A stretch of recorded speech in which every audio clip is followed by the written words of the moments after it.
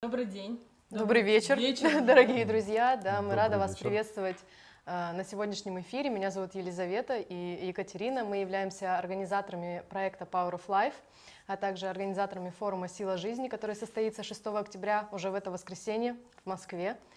Э, Хотелось бы вам рассказать о сегодняшнем эфире и о нашем сегодняшнем госте. Да, мы на самом деле рады видеть вас в четвертый раз и надеемся, что вам удалось посмотреть все четыре эфира цикла. Если не удалось, они есть у вас в записи. Сегодня у нас э, Олег Матвеев в гостях, и это специалист э, по ГНМ. Мы давно уже пишем а, публикации и понимаем, что они вызывают очень большой резонанс, но в публикациях нельзя отразить всю суть э, новой германской медицины. И поэтому мы решили пригласить Олега Матвеева, который расскажет нам сегодня об этом. А, Олег Матвеев – клинический психолог, психотерапевт, психосоматолог, создатель Международной академии ясного коучинга, автор книг, посвященных методам работы с эмоциональными причинами психо- психосоматических заболеваний, танцевальный терапевт, ведущий авторских тренингов. Мы вам желаем продуктивного, приятного эфира. Опять ну, хотим, чтобы он был для вас максимально практичен, поэтому если есть возможность записывать, доставайте Записывайте, да, да. бумагу, листы, записывайте, потому что могут проходить какие-то инсайты. Пишите ваши вопросы в чате Олегу, и в конце, ближе к концу эфира Олег э, будет отвечать на вопросы. В общем, Хорошего, приятного эфира. работы. Добрый вечер еще раз всем. У нас в заголовке было написано сегодня просто ГНМ, да, было написано что-то такое, поэтому постараемся рассказать об этом просто. Э, Аббревиатура ГНМ означает германская новая медицина. Это такое достаточно малоизвестное новое направление. Когда я рассказываю об этом, ну, просто людям, которые не особо знакомы с этим, э, я просто называю это новая психосоматика. Сегодня я попытаюсь об этом рассказать, ну, и, как уже сказали, поотвечать на ваши вопросы. Буду поглядывать на чат. Хотя, скорее всего, на вопросы я буду отвечать в самом конце, но задавать их можно прямо по ходу, по ходу возникновения этих вопросов, да, чтобы они у вас в голове не оставались. Ну и как говорили, я постараюсь сегодня не просто там рассказать какую-то теорию, да, или какие-то сказки порассказывать, но дать что-нибудь практичное и интересное. Может быть, даже упражнение попрошу вас какое-нибудь сделать на досуге. Вот, так что, так что вот. Ну, поехали потихонечку, да. Вообще говоря, когда мы говорим о психосоматике, мы на самом деле в каком-то смысле вступаем э, в противоречие с э, официальной парадигмой медицины.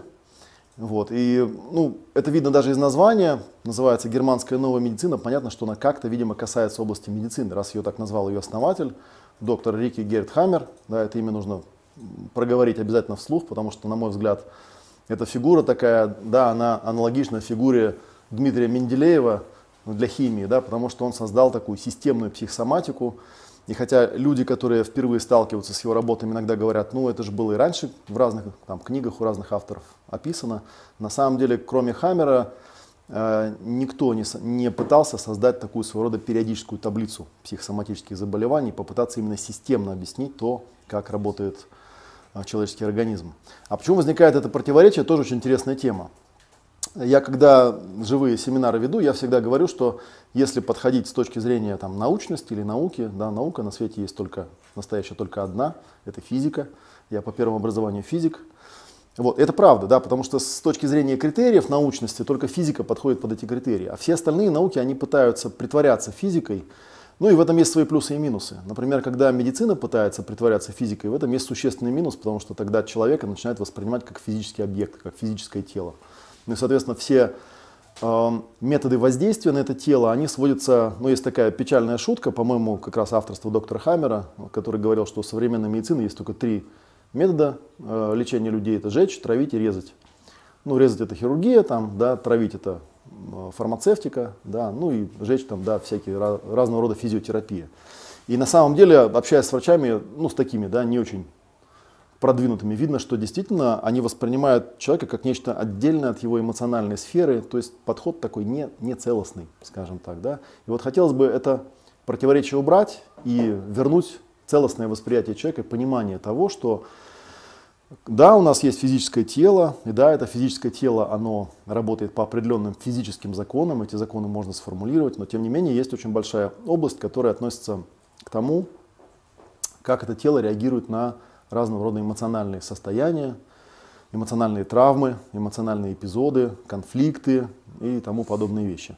И если посмотреть вот именно с системной точки зрения на это все, да, то можно тогда сразу сказать, в чем основное такое базовое отличие э, ну, в, как бы в исходных постулатах теории новой психосоматики, теории германской новой медицины и э, ну, вот медицины традиционной. В традиционной медицине есть такое понятие, как болезнь. И болезнь воспринимается как некий сбой, да, что вот есть некий э, некий, некое тело физическое, да, которое ну, как-то функционирует, у него есть какое-то оптимальное состояние, и вот что-то там случается, причем то, что случается, обычно описывается как некое внешнее воздействие, то есть нападают какие-нибудь враги в виде инфекции, или что-то там физическое прилетает, какое-то переохлаждение, там, пере, пере, э, утомление и тому подобное. И вот в этом организме начинается сбой какой-то, который, соответственно, нужно выровнять таким же физическим воздействием, да, то есть либо там химией, либо там физиологией какой-то и так далее. Вот, эмоциональная сфера, она как бы не берется в расчет. И, соответственно, все эти сбои называются термином болезни. Болезнь это плохо, болезнь нужно лечить, от болезни нужно избавляться. А, болезнь это враг, да, и вообще такая получается терминология, которая очень похожа на терминологию военную, да, то есть все время с чем-то борется. С раком тоже борется, там борьба с болезнями, борьба с инфекциями, борьба с раком и так далее. В новой психосоматике исходный постулат э, отличается практически ну, вот на 180 градусов, да, потому что была у меня однажды такая дискуссия где-то на своей страничке в Фейсбуке. Я задал такой вопрос с подвохом. Я спросил у тех людей, которые интересовались темой германской новой медицины, ну а если вы знаете, отвлекаясь чуть в сторону, германскую новую медицину обычно ассоциируют с темой э, онкологии, с темой рака в основном. Ну так получилось исторически, что изначально э, сама история, личная история доктора Хаммера была связана именно с онкологией. Он сам, заболев онкологией, сам себя исцелил, и вот после этого у него там пошла цепочка событий в жизни, которая привела его к открытию того, что он назвал германской новой медициной. Вот. И, соответственно, я задал такой вопрос. Сколько видов рака, как вы думаете, выделяют в германской новой медицине? И завязалась там такая дискуссия э, в комментариях. Кто-то говорил там 4 вида, там те, кто более-менее разбирается, кто-то еще там какие-то цифры называл там и так далее. В то время как правильный ответ, он очень простой, довольно странный. В германской новой медицине Э, нет, вообще никакого рака нет. В германской новой медицине, в принципе, в ее текущем состоянии нет такого понятия, как там, рак, да, в том смысле, как это понимается в медицине. Там есть термин специальные, целесообразные биологические программы. И э, Хаммер э, постарался максимально научно обосновать, что то, что с организмом происходит, это биологическая программа. Это то, что порождается внутренними процессами самого организма, его внутренней реакцией на то, что снаружи произошло. То есть нет такого, э, такой ситуации, когда вот был идеальный организм, на него было совершено какое-то внешнее нападение, и он из-за этого сломался. Нет. Есть там организм в неком оптимальном состоянии, потом снаружи что-то происходит, мы сейчас дальше об этом попробуем разобра- поговорить более подробно и разобраться по полочкам, разложить. А, дальше идет реакция организма на это. И эта реакция организма, она системна, она предсказуема, ее можно заранее предсказать, заранее описать. А, даже вот нарисовать в виде таблицы, я потом покажу вам, там есть красивый рисуночек, такая сводка всех открытий доктора Хаммера. И, соответственно, это дает совершенно другой взгляд, да, что со специальными биологическими программами работают не с точки зрения попытки их там искоренить, уничтожить, прекратить, а с точки зрения понимания того, почему они запустились и поиска причин э, запуска этих программ, ну и, соответственно, устранения этих причин, что в идеале должно приводить к тому, что программа ну, просто выключается и просто незачем быть, и она перестает работать. И таких э, случаев достаточно много описано э, в практике у специалистов, которые с этим всем работают. То есть получается, что мы говорим о, об адаптации скорее организма к окружающей среде и к тому, что происходит. На эту адаптацию можно посмотреть системно. И вот опять же, да, можно прокомментировать, какая, а, какие отрасли современного научного знания, на каком уровне пытаются с этим взаимодействовать. Но обычно я рисую такую, а, такую как бы шкалу, да, я сейчас просто ее проговорю, она практически очевидна. Да. Где-то в самом низу шкалы будет просто тело как физический объект. Да, как тело как физический объект, который сформирован средой, это то, что исследовали ученые, биологи, такие как там Дарвин, такие как Ламарк, и они пытались понять и объяснить, почему там тела у животных и тело у человека выглядит именно таким образом, откуда оно такое взялось, почему оно так себя ведет, почему у него такие реакции и так далее. Ну и все это объясняется через взаимодействие с окружающей средой. Ну а какое взаимодействие? Физическое, опять же, там, химическое да, и прочее. Кстати говоря, в те времена, когда Дарвин свои открытия делал, никто ведь про генетику еще не знал, то есть никто не знал, что на самом деле есть внутренний носитель в каждой клетке, да, есть ДНК, и это такой э, ну, родовой код, да, генетический код. Тоже, кстати, иногда, я вот по одной из профессий еще лингвист, и когда люди употребляют какие-то такие большие слова, там генетика, да, ген это просто род, да, ДНК это родовой код. Это означает, что я являюсь потомком там, сотен тысяч поколений своих предков, которые существовали в определенных условиях, соответственно, я от них унаследовал все те методы взаимодействия с окружающей средой, которыми они пользовались, которые им помогали выживать. Ну и теперь я в себе этот багаж несу. Этот багаж может мне помогать, может не помогать, может быть вообще не, не к месту да, в 21 веке, но тем не менее он есть. А, потом следующий уровень адаптации тоже он очень интересен, потому что был такой научный спор между Дарвином и Ламарком, Дарвин утверждал, если вы помните, да, он придумал теорию естественного отбора. То есть, грубо говоря, кто не приспособлен, тот умирает, а кто приспособлен, тот остается жить. А Ламарк утверждал, что на самом деле живой организм может изменяться и адаптироваться по ходу своей жизни. Это если так упрощенно говорить. Удивительно, что Хаммер, он э, взял, э, то есть если посмотреть на его открытие, то видно, что он скорее тяготеет э, к Ламарку, да, потому что можно показать, что те процессы, которые у человека в организме запускаются, ну мы про людей говорим, да, хотя можно и про животных тоже говорить, они на самом деле вызываются событиями, которые происходили в жизни у этого человека и в жизни там, его предков иногда.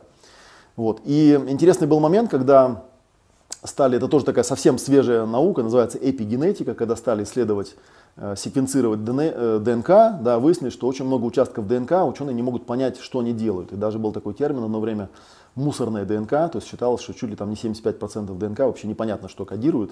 То есть те расшифрованные участки, которые имелись в наличии, вроде бы объясняли все устройство нашего тела. А зачем все это остальное, непонятно. А потом чуть позже выяснилось, что оказывается э, вот в этих областях, да, эпигенетических, находятся так называемые переключатели, которые определяют физиологию конкретного тела. И мы все это видим, да, что могут быть люди, которые родились ну, более-менее с одинаковыми там, генетически врожденными данными, тем не менее судьба их, в том числе в плане здоровья, складывается совершенно по-разному. И дальше уже из этого следует, соответственно, там, психофизиология какая-то, из этой психофизиологии следует характер, да, из характера следует психология, да, то есть некий компенсаторный уже механизм, который помогает человеку как-то справляться. И вот получается такая длинная шкала, где в самом низу, там, условно говоря, находится тело, да, в самом верху находится, ну, можно рискнуть сказать слово душа, или там не использует это слово, сказать психика. И на самом деле проблема э, современной науки заключается в том, что она эту шкалу, она ее только, только частично использует. Да? И только вот для меня только психосоматика является такой отраслью, которая пытается увязать верхние уровни, да, то есть психику, психические состояния, душевные состояния, эмоциональные всякие состояния, с тем, что происходит на уровне тела. И показать, что все, что на уровне тела происходит, это адаптация. То есть есть определенная вполне предсказуемая структура реагирования. Да? То есть, условно говоря, если совсем упрощенно это показывать, она достаточно просто объясняется. То есть происходит некое стимульное событие в жизни у человека. Мы даже сейчас не будем говорить, там, травма, это эмоциональная травма, или это просто какое-то событие происходит. Да, и вот голова там что-то осознает, да, на уровне осознания. Сердце включает какие-то эмоции, какие-то эмоциональные состояния. И есть еще животная наша часть, в которой есть какие-то встроенные поведенческие паттерны. И, в принципе, вся вот эта вот структура, может быть, вы слышали, есть такой термин триединый мозг, да, вот условно говоря, его можно объяснить так, как голова, сердце и живот. Он э, как-то эта система реагирует с целью адаптироваться к той ситуации, которая возникла. И только если все эти уровни не срабатывают, есть, э, тогда срабатывает еще один уровень адаптации, который вот как раз уже пересекается с областью медицины. Да? Это уже адаптация такая телесная, адаптация химическая, органическая, тканевая, клеточная. Вот. И она бывает не специфическая, и бывает специфическая, то есть конкретная реакция на конкретное событие, конкретным органом там, тела или конкретной тканью. Вот как раз теория Хаммера, теория доктора Рики Герда Хаммера, она описывает специфические виды адаптации. И, как я уже говорил, используется такой термин, а, как специальная биологическая целесообразная программа. Здесь причем все, ну, каждое слово, оно специально выверено, да, что она целесообразная, то есть она не просто непонятно от чего включается, она включается вполне себе предсказуемо. И она не что попало делает в организме, то есть это не анархия какая-то, у нее есть совершенно определенная точка запуска, совершенно определенная программа, совершенно определенная точка завершения. Ее можно заранее описать и даже на схеме нарисовать, изобразить. Да, если вот, например, попытаться как-то там человека изобразить в виде некой схемы, да, вот тут есть у нас такая картинка красивая, человек изображенный в виде ракеты. По-моему, даже она, да, вот так может наклоняться. То есть символизирует, что она там летит как бы куда-то, да, человек это такая многоступенчатая структура, да, где есть вот голова, есть сердце, есть живот есть тело. Я даже вот придумал для них такие обозначения, там, да, там тета, пси, лямбда и фи. И вот ракета, то есть как бы человек, он существо активное, да, он все время хочет из какого-то текущего своего состояния с точки А попасть в какое-то желаемое в точку Б. Ну, соответственно, либо он туда успешно попадает, либо он туда не попадает. И у него возникают проблемы, у него возникают, сейчас мы подальше, чуть дальше об этом поговорим, у него возникают разного рода ситуации, к которым нужно адаптироваться специфическим каким-то вот образом, да. И если попробовать описать, в чем специфичность конкретно человеческих реакций, ну, наверное, примерно к этому моменту объяснения уже понятно, что, наверное, если совсем примитивно объяснять, э, можно объяснить это так, да, что у нас есть наша человеческая жизнь с нашими человеческими конфликтами, есть биологическая наша часть, которая ну, является телом. Вот. И это тело, оно пытается на человеческие проблемы реагировать телесным образом. А тело, оно формировалось совершенно в другой среде, совершенно для других проблем. Да, то есть никогда у животных не было такой проблемы, чтобы его там начальник на ковер вызывал там, да, и там хотел отругать. И, ну и типа у человека там возникают какие-то проблемы там, с выживанием, к примеру, да, у животного таких проблем не бывает. Или, например, если вот сослаться на кого-то еще из там, известных ученых, да, на которых можно ссылаться, есть у меня такой человек, который, на мой взгляд, очень хорошо пишет о психосоматике, зовут его Роберт Сапольский, у него есть книга на русском языке, она называется «Психология стресса», хотя в английском она называется «Почему у зебры не бывает язвы?». И он там как раз рассказывает, каким образом мышление человека приводит к тому, что его тело совершенно неадекватно реагирует на ну, сравнительно безобидные события, да, потому что у зебры действительно язвы не бывает, а у человека бывает. Вот. И можно тоже это как-то разложить и разобрать. И ну, давайте, например, разберем так, давайте разберем, например, по терминам просто. Да? Была у меня такая однажды история, когда мне задали вопрос. Э, вопрос касался там какого-то заболевания, какие-то там воспаления слизистой. Вот. И я написал человеку, что воспаление слизистой это всегда фаза восстановления. Я сейчас чуть попозже объясню, что такое фаза восстановления с точки зрения теории Хаммера. То есть сам конфликт уже решен, просто остался заряд. Ну и человек мне в ответ пишет, что а это разве не одно и то же, там конфликт, заряд, это же ну, такая, то есть примитивная схема психосоматики для такого простого человека, для обывателя выглядит очень просто, да, произошел некий конфликт, то есть некая неприятная ситуация, человек из-за этого заболел. Ну, как бы в быту мы вроде бы тоже все это знаем, да, там все болезни от нервов, типа что-то там случилось, я перенервничал, ну и потом вот болею, да, ну вот как бы проследить эту закономерность удается не всегда, уж тем более там научно описать. Поэтому я попытался этому, ну, для этого человека разложить все по полочкам, потом понял, что это вообще такая кардинальная тема, ее действительно нужно просто по полкам изначально э, разобрать, и тогда станет все понятно, если правильно этот вопрос отвечать. Да, вот смотрите, термин номер один. Что такое конфликт? Конфликт это некая потенциально, травматические, потенциально травматическая ситуация, эпизод. Да, это ситуация, то есть это конкретное событие, это тоже важно, да, у которого есть место, время, там, участники и так далее, которое представляет угрозу выживанию, доминированию или правоте. Вот, к сожалению, для человека есть еще такая оговорка, да, что ситуация далеко не всегда реальная. Она может быть воображаемая, символическая, метафорическая, виртуальная, это тоже можно экспериментально показать. Я вот когда работаю с э, теми людьми, которые ко мне приходят, в поразительном проценте случаев выясняется, что ситуация, на которую тело отреагировало, это не, ну, это не была какая-то физическая угроза, там, условно говоря, никто с ними, за ними с топором не гонялся. Да, это было скорее там картинка в голове, некое воображение. Человек, например, ну там условно вызванный на ковер к начальнику, как я говорил, да, может воспринимать эту ситуацию как угрозу выживанию. Хотя реально с физической точки зрения там никакой угрозы выживанию нет, да, ты можешь в конце концов туда просто не ходить. Но человек туда идет. Вот. Так что вот как бы первая да, формулировка очень простая, что конфликт это потенциально травматический эпизод, это ситуация, которая является угрозой. Причем угроза может быть просто вот, ну, воображаемая. Человек считает, что там есть угроза. И как вы видите, с точки зрения работы с такими людьми, тут уже вот сразу открывается область, уже становится понятно. Да? То есть нужно искать не какие-то там заранее э, описанные ситуации, которые могут быть конфликтами, а нужно разбираться, что человек воспринимает как конфликт. Да? Что дальше происходит? Конфликт порождает стресс, то есть конфликт порождает реакцию на физическом уровне, на эмоциональном уровне, на ментальном. Этот стресс можно описать как болевую реакцию. Да? То есть боль это некое предупреждение, что в моей жизни что-то ужасное происходит, нужно как-то от этого избавляться. И мы это воспринимаем как неприятные, нежелательные переживания. То есть это вот какие-то там в голове у человека картинки возникают, да, воображение, какие-то ощущения в теле возникают, какие-то эмоции, какие-то мысли. Тут, как вы видите, тоже достаточно все э, связывается в схему. Почему? Потому что когда мы говорим неприятное, нежелательное переживание, тут же можно двояко к этому как бы подходить, двояко это воспринимать. С одной стороны, можно воспринимать как некое предупреждение, что да, мое мудрое, доброе тело, вот Хаммер очень любил писать там про мудрую матушку природу, и он был во многом прав, что мое мудрое, доброе тело предупреждает меня, человек, ты не туда пошел, ты не тем занимаешься, да, ты там не в то погрузился там, и так далее. Меня просто об этом предупреждает мягко. А я беру и говорю, так, не хочу я никого слушать, да, буду делать по-своему. То есть получается, что когда возникает некий конфликт, и у меня возникает некий стресс, у меня есть две, как бы, две дорожки, два способа реагирования. Да? Первый заключается в том, что как говорят э, позитивные терапевты, принять, воспроизвести, отпустить. Да, помните, там шутка такая была, понять и простить эту боль. Ну, потому что всякое в жизни бывает, крайне редко у человека реально в жизни происходит ситуация, которая действительно ему чем-то там ужасным грозит. По большей части это он там себе э, просчитывает какие-то последствия, которые никогда не случаются. Иногда, наблюдая за некоторыми особо такими больными людьми, э, я даже вспоминаю формулу, которую когда-то я ее для себя сформулировал, наблюдая за одним человеком, неважно за кем, что люди всегда боятся того, что было, и того, чего никогда не будет. Крайне редко можно встретить человека, который боится того, что есть. Обычно он там или из прошлого что-то такое подтягивает, то есть какие-то прошлые нерешенные проблемы, или вот воображать начинает там, да, причем это никогда не случается, но это не мешает ему болеть, вот что самое удивительное.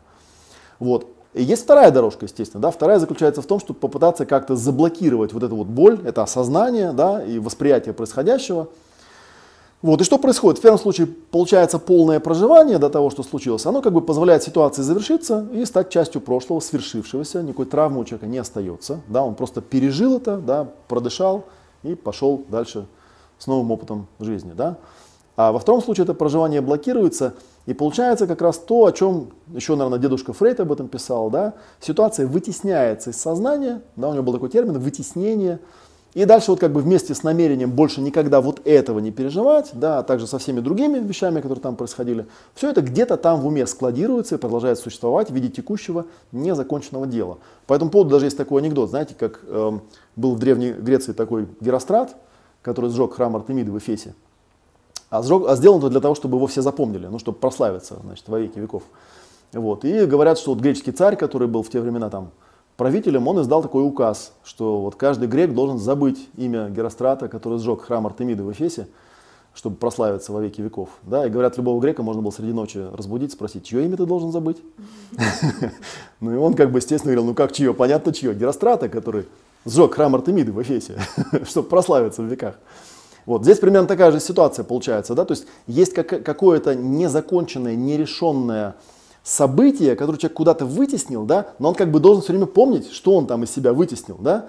И вот это как раз и называется травмой, да, вот эти подобные конфликты, они превращаются в действующие травмы. Почему? Потому что получается каждый раз, когда у человека в жизни что-то похожее возникает, да, у него возникают похожие текущие переживания в настоящем времени, и они продолжают на человека негативно влиять. Ну и в какой-то, в какой-то момент да, тело может понять, что головой я это не решаю, да, на эмоциональном уровне я это не решаю, на поведенческом уровне тоже решить не могу. Но это тогда тело говорит, ну спасайся, кто может, надо теперь отреагировать как-то, ну, видимо, телесно как-то, да, а реагирует оно, вот если использовать терминологию э, доктора Хаммера, да, архаичными биологическими программами. То есть каждая ткань, которая в нас есть, она соответствует какой-то, ну, эта ткань где-то раньше там была в каких-то организмах, у них были какие-то свои выживательные алгоритмы, как они это делают. Хотя, строго говоря, вообще есть там два основных алгоритма, как реагирует какая-то ткань. Она либо увеличивается, то есть клетки размножаются, либо она уменьшается, есть клеточная масса падает, изъязвление появляется. И самое удивительное, что в принципе практически все заболевания можно свести вот к этим двум категориям. Ну там есть некоторые нюансы, да, но в принципе оно всегда так. Либо растет масса клеточная, либо уменьшается. Вот такая вот интересная вещь. Что еще получается? Ну, то есть вот да, я уже сказал, два возможных пути. Получается, ну, примерно понятно, что здесь нужно делать, опять же, да, если говорить с точки зрения того, с чем нужно работать. Нужно, по идее, локализовать вот такие события, такие ситуации, ну и, в принципе, сделать то, что нужно было сделать с самого начала. То есть принять, воспроизвести, отпустить, а не пытаться это вытеснять и делать вид, что этого ничего нет. Потому что оно никуда не девается. Единственное, что, наверное, можно здесь добавить, очень важное, да, что в сравнении с с использованием термина вытеснения у Фрейда, ну, у Фрейда вытеснялось оно куда? В подсознание загадочное, да, там какое-то есть подсознание, куда это вытесняется, он там много книг об этом писал, Ученики продолжили эту тему, там описывали это подсознание. Вот. Но если мы вернемся, посмотрим на, ну вот вы вспомните, или можно вот снова и вырасти, вот эту картиночку с ракетой, да, показать на экране.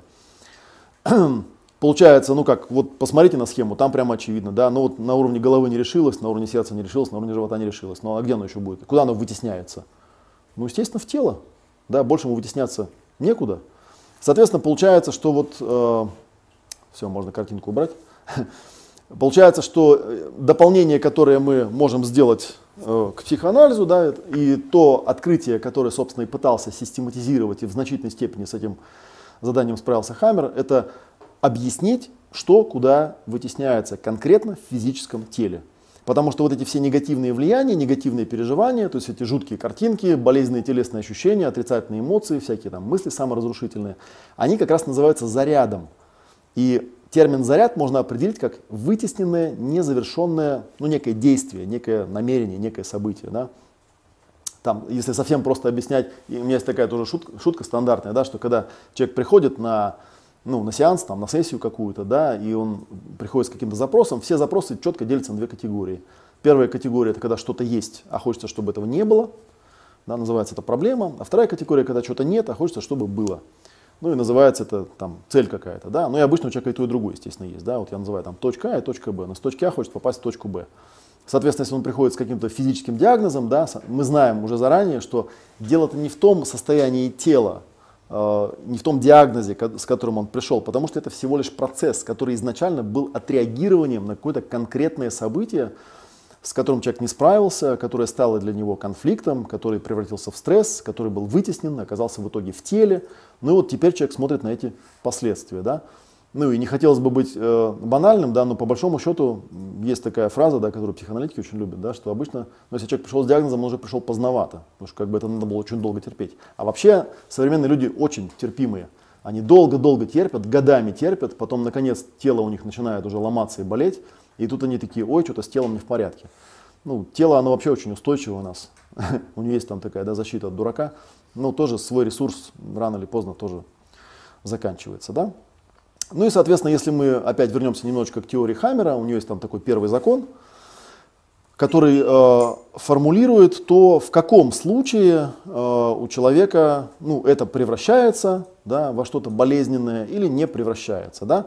Первый закон Хаммера или первый закон новой психосоматики, он формулируется очень просто, что любая вот эта специальная целесообразная биологическая программа запускается так называемым биологическим шоком, сразу на трех уровнях, да, на уровне там, психики, на уровне мозга, на уровне органа конкретного. И у нее есть совершенно определенные признаки. И вот и признаков этих всего пять на самом деле. Ну, по крайней мере, я насчитал пять, да, в разных школах там разное количество этих признаков называют, да. Это произошло неожиданно, то есть человек этого не ожидал, ну, если бы он ожидал бы, то у него был бы какой-то рецепт, как с этим справиться, да. Раз он с этим не справился, значит, это было неожиданно. Это неконтролируемо, то есть это произошло не потому, что он это запланировал, там, а пойду-ка я, да, вот себе устрою тут какое-то событие. Это очень драматично, то есть это очень сильно его эмоционально задевает. Очевидно, что в этой ситуации нет у него решения ни на каком уровне. И еще есть последний такой фактор, что даже если все эти вещи случились, да, все равно человек существо социальное, он может за помощью кому-то обратиться. И, как правило, вот есть такой фактор изоляция – то есть человек не, не по какой-то причине он не смог в тот момент найти какую-то поддержку. Это может быть разные могут быть причины, да, может быть событие такое, что он его там как-то дискредитирует. И вот получается такая ситуация, да, что если стресс оказался внезапным, то есть человек не подготовился, не имел ресурсов, чтобы с ним справиться, изолирующим, то есть никто ему в этот момент не помог по какой-то причине, может быть, потому что он сам не попросил, может быть, просто он там, не знаю, в таком возрасте был, что он не мог как-то попросить. Он попадает в результате в замешательство, не может найти никакой стратегии решения, и тогда стресс становится биологическим шоком, и тогда, ну, говоря современными терминами, программное обеспечение мозга, да, то, что я называю генетическая сущность, берет управление реакцией человека на себя и начинает аварийно запускать в теле программы более низкого вот этого архаичного уровня. Архаичные биологические целесообразные программы спасения жизни, которые мы э, знаем под названием болезни. И вот если посмотреть на схему Хаммера, да, примерно половина э, известных в медицине заболеваний, я сейчас эту схему чуть попозже покажу, соответствует описанной ситуации, да, а в новой медицине называется симптомами активной фазы, то есть фазы конфликта. Вот, и мы говорим, что э, мозг, он всегда пытается дать человеку возможность э, решить как-то конфликт, справиться с ним. Да? Он как бы, получается, утилизирует все эти переживания заряда в какие-то локальные процессы в органах тела, причем определенным типом зарядов соответствуют определенные органы тела, что у Хаммера в схеме описано. Вот у него есть такая здоровенная схема, таблица есть такая настенная и атлас. Э, только там не химические элементы, да, а там эти органы, где все это подробно описано. Вот. А если конфликт вот по тому определению, которое я дал, он уже исчерпан, на всех уровнях завершился, то есть угроза исчезла, стала частью прошлого. Э, иногда это само собой случается, иногда благодаря тому, что человек все же нашел решение, да, воспользовавшись этой отсрочкой, которую мозг ему дал. И мозг запускает механизм остановки этой биологической программы. Вот, и механизм тоже работает совершенно определенным образом, проходя через определенные стадии, а все вместе называется фазой восстановления или фазой ремонта. И вот оставшаяся половина известных болезней соответствует фазе вот этой вот самой. Да? Вот, э, ну вот я, наверное, здесь вот будет интересно как раз сейчас вот посмотреть на эту картинку. Есть такая большая красивая картинка, в которой, конечно, вам сейчас будет ничего не понятно. Вот, она называется «Компас германской новой медицины». Это вот схема, в которой, в принципе, фактически изложена вся суть того, что Хаммер открыл и описал. Ну, давайте на нее посмотрим. Я попробую вам вас провести через, там э, у него есть вот эти законы, так называемые, да, их всего пять на самом деле. Вот мы сейчас все пять попробуем проговорить. Закон номер один. Э, он говорит о чем? Что любая специальная биологическая целесообразная программа, или мы можем в скобочках, ну, себе где-то в мозгу сделать ссылочку «болезнь», да, хотя мы этим термином не пользуемся, она вызывается внезапным биологическим шоком. Там такой есть красный треугольник, видите, с такой молнией, да, написано «внезапный биологический шок». А, там еще в скобочках написано СДХ, эм, это расшифровывается как синдром Дирка Хаммера. Дирк Хаммер это был э, сын доктора Хаммера, который умер у него на руках в возрасте, по-моему, 18 или 19 лет, что, собственно, для него и было э, биологическим внезапным шоком, да, потерять своего, там, это был его старший сын, первенец, вот после этого он заболел раком, у него был рак яичка. И ну, из-за того, что это так скоропостижно случилось и, видимо, так сильно его потрясло, он был такой ну, сейчас он в 2017 году умер, доктор Хаммер, да, но вот когда он еще был жив, все про него говорили, что он такой был очень здоровый мужик, никогда ничем не болел, похож был на игрока регби, такой шкафообразный был товарищ. Вот. И, видимо, для него, для самого это было очень странным. Он всю жизнь работал врачом до 50 с чем-то лет, вот, прежде чем он пришел к своему открытию. И, и вот как-то так, да, из здорового состояния резко перейти в нездоровое, для него это было очень удивительно. И он стал это исследовать и стал подозревать, что это как-то связано с его состоянием. Потом от этого как бы все и произошло. Вот, собственно говоря, первый закон, еще раз его проговорим, чтобы было понятно, да, что любая программа, она запускается не просто так, ни с того, ни с сего, потому что иногда, опять же, читая некие статьи медицинские, можно встретить такую, а, такой посыл, да, что рак это такая ужасная штука, он может случиться с кем угодно, когда угодно, безо всяких видимых причин, просто вот вы идете по улице, закололо в боку, да, и вы там бах, приходите, и у вас страшный диагноз, и вот нужно ходить и бояться, что в принципе само по себе ну, абсолютно не соответствует истине. Как говорил один известный литературный персонаж, ни на кого никогда, ни с того ни с сего кирпич на голову не падает. Вот. То же самое касается болезней. Да? Никто никогда просто так ни с того ни с сего не заболевает. И я знаю, потому что я вот когда общался с, ну, с теми людьми, которые ко мне приходят, они мне говорят, ну как же, вот у меня там был дядя там, или тетя, вот был, абсолютно у него все было хорошо, все было благополучно, и вдруг он бах, и скоропостижно там сгорел и умер там за месяц там, или за два. Как же так? Вот у него же ничего в жизни не происходило. И я всегда им говорю, ну на самом деле, возможно, именно потому, что вы не знали, что у него произошло, поэтому это и случилось. Скорее всего, да не то, что скорее всего, я абсолютно в этом убежден, что он просто вам не рассказал, что на самом деле случилось. Поэтому оно и случилось. Если бы он, возможно, с кем-то поделился бы, да, это же, как вы помните, да, один из факторов, изоляция. Если бы он с кем-то поделился, то, возможно, ну, события пошли бы другим путем. Но, как правило, да, уже поздно э, об этом говорить к этому моменту. Второе, что мы на схеме можем увидеть, вы видите такие да, вертикальные ну, пунктирные линии, да, и там видно две фазы. Вот одна, видите, ну, сначала я поясню, да, самая левая часть, вот левая, левая четверть получается, да, там идет такая вот синусоида. Вверху написано день бодрствования, внизу написано ночь, покой. Да, это попытка описать то, как работает нормальный человеческий организм. То есть в течение, условно говоря, дневной фазы он испытывает некий умеренный уровень стресса, да, бодрствования, там что-то происходит, да, это примерно соответствует так называемой активной фазе существования организма, да, активной фазе э, нашей жизни. А ночью, соответственно, да, наступает ночная фаза, тоже очень важная. Ну, мы тут за час в это погрузиться не сможем. На семинарах я обычно там подробно объясняю, какие процессы запускаются на активной фазе, да, какие вот на фазе покоя. Но, в принципе, это нормальное совершенно существование человека. Да, там примерно половину времени, условно говоря, он бодрствует, примерно половину времени он отдыхает. И так функционирует организм. Да. В ночной фазе он работает с внутренним миром, с микромиром, с миром там, клеточным, да, с телом, как оно выглядит изнутри. Днем мы работаем с макромиром, с внешними ситуациями и стараемся какой-то баланс поддерживать. А потом внезапно вдруг происходит вот этот вот шок, да, синдром Дирка Хаммера. Что происходит? Происходит интересная вещь. Получается, что у человека на активной фазе конфликта возникает ситуация такая, что он не может перейти вот эту нижнюю фазу, фазу покоя. Но по очевидной причине эта ситуация для него представляется Э, угрожающее выживанию, он не может взять и лечь поспать, там, отдохнуть и подумать, да, ему нужно эту ситуацию срочно решить, именно потому, что она угрожает его выживанию. И получается, что он как бы застревает э, в фазе бодрствования. И вот это изображено вот этой синей частью, да, там еще вот такой, нарисована такая вот мишенька, да, я потом расскажу, это, это так называемый фокус Хаммера, который наблюдается на компьютерной томограмме. То есть все то, что там у Хаммера Э, описано в его выкладках, на самом деле это можно увидеть на компьютерной томограмме мозга. Это тоже для него был существенный фактор ну, доказательства того, что он не занимается там какой-то эзотерикой и рассказывает ну, какую-то известную теорию, что вот там эмоциональный конфликт как-то отражается на теле, это же там известно тысячу лет.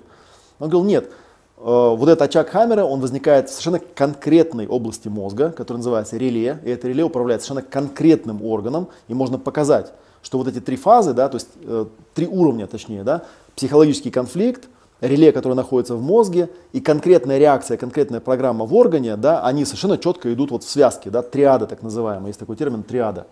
Вот в зависимости от того, какой конфликт у человека произошел, да, у него там разные органы могут, соответственно, включиться в этот процесс. Ну и, соответственно, мы понимаем, да, что если это, там вот чуть выше написано, что есть там четыре вида тканей, это уже эмбриология, вот э, две из которых соответствующие древнему мозгу и стволу мозга, это энтодерма и старая мезодерма, так называемая, они всегда реагируют одинаково. Они на активной фазе конфликта реагируют размножением. Вот. И, соответственно, мы можем предсказать, где находится, зная диагноз, можем предсказать, где находится реле, то есть где мы на компьютерной томограмме увидим вот такую вот фигуру. И, соответственно, какой примерно конфликт, из какой хотя бы категории конфликт у человека произошел и как давно он произошел.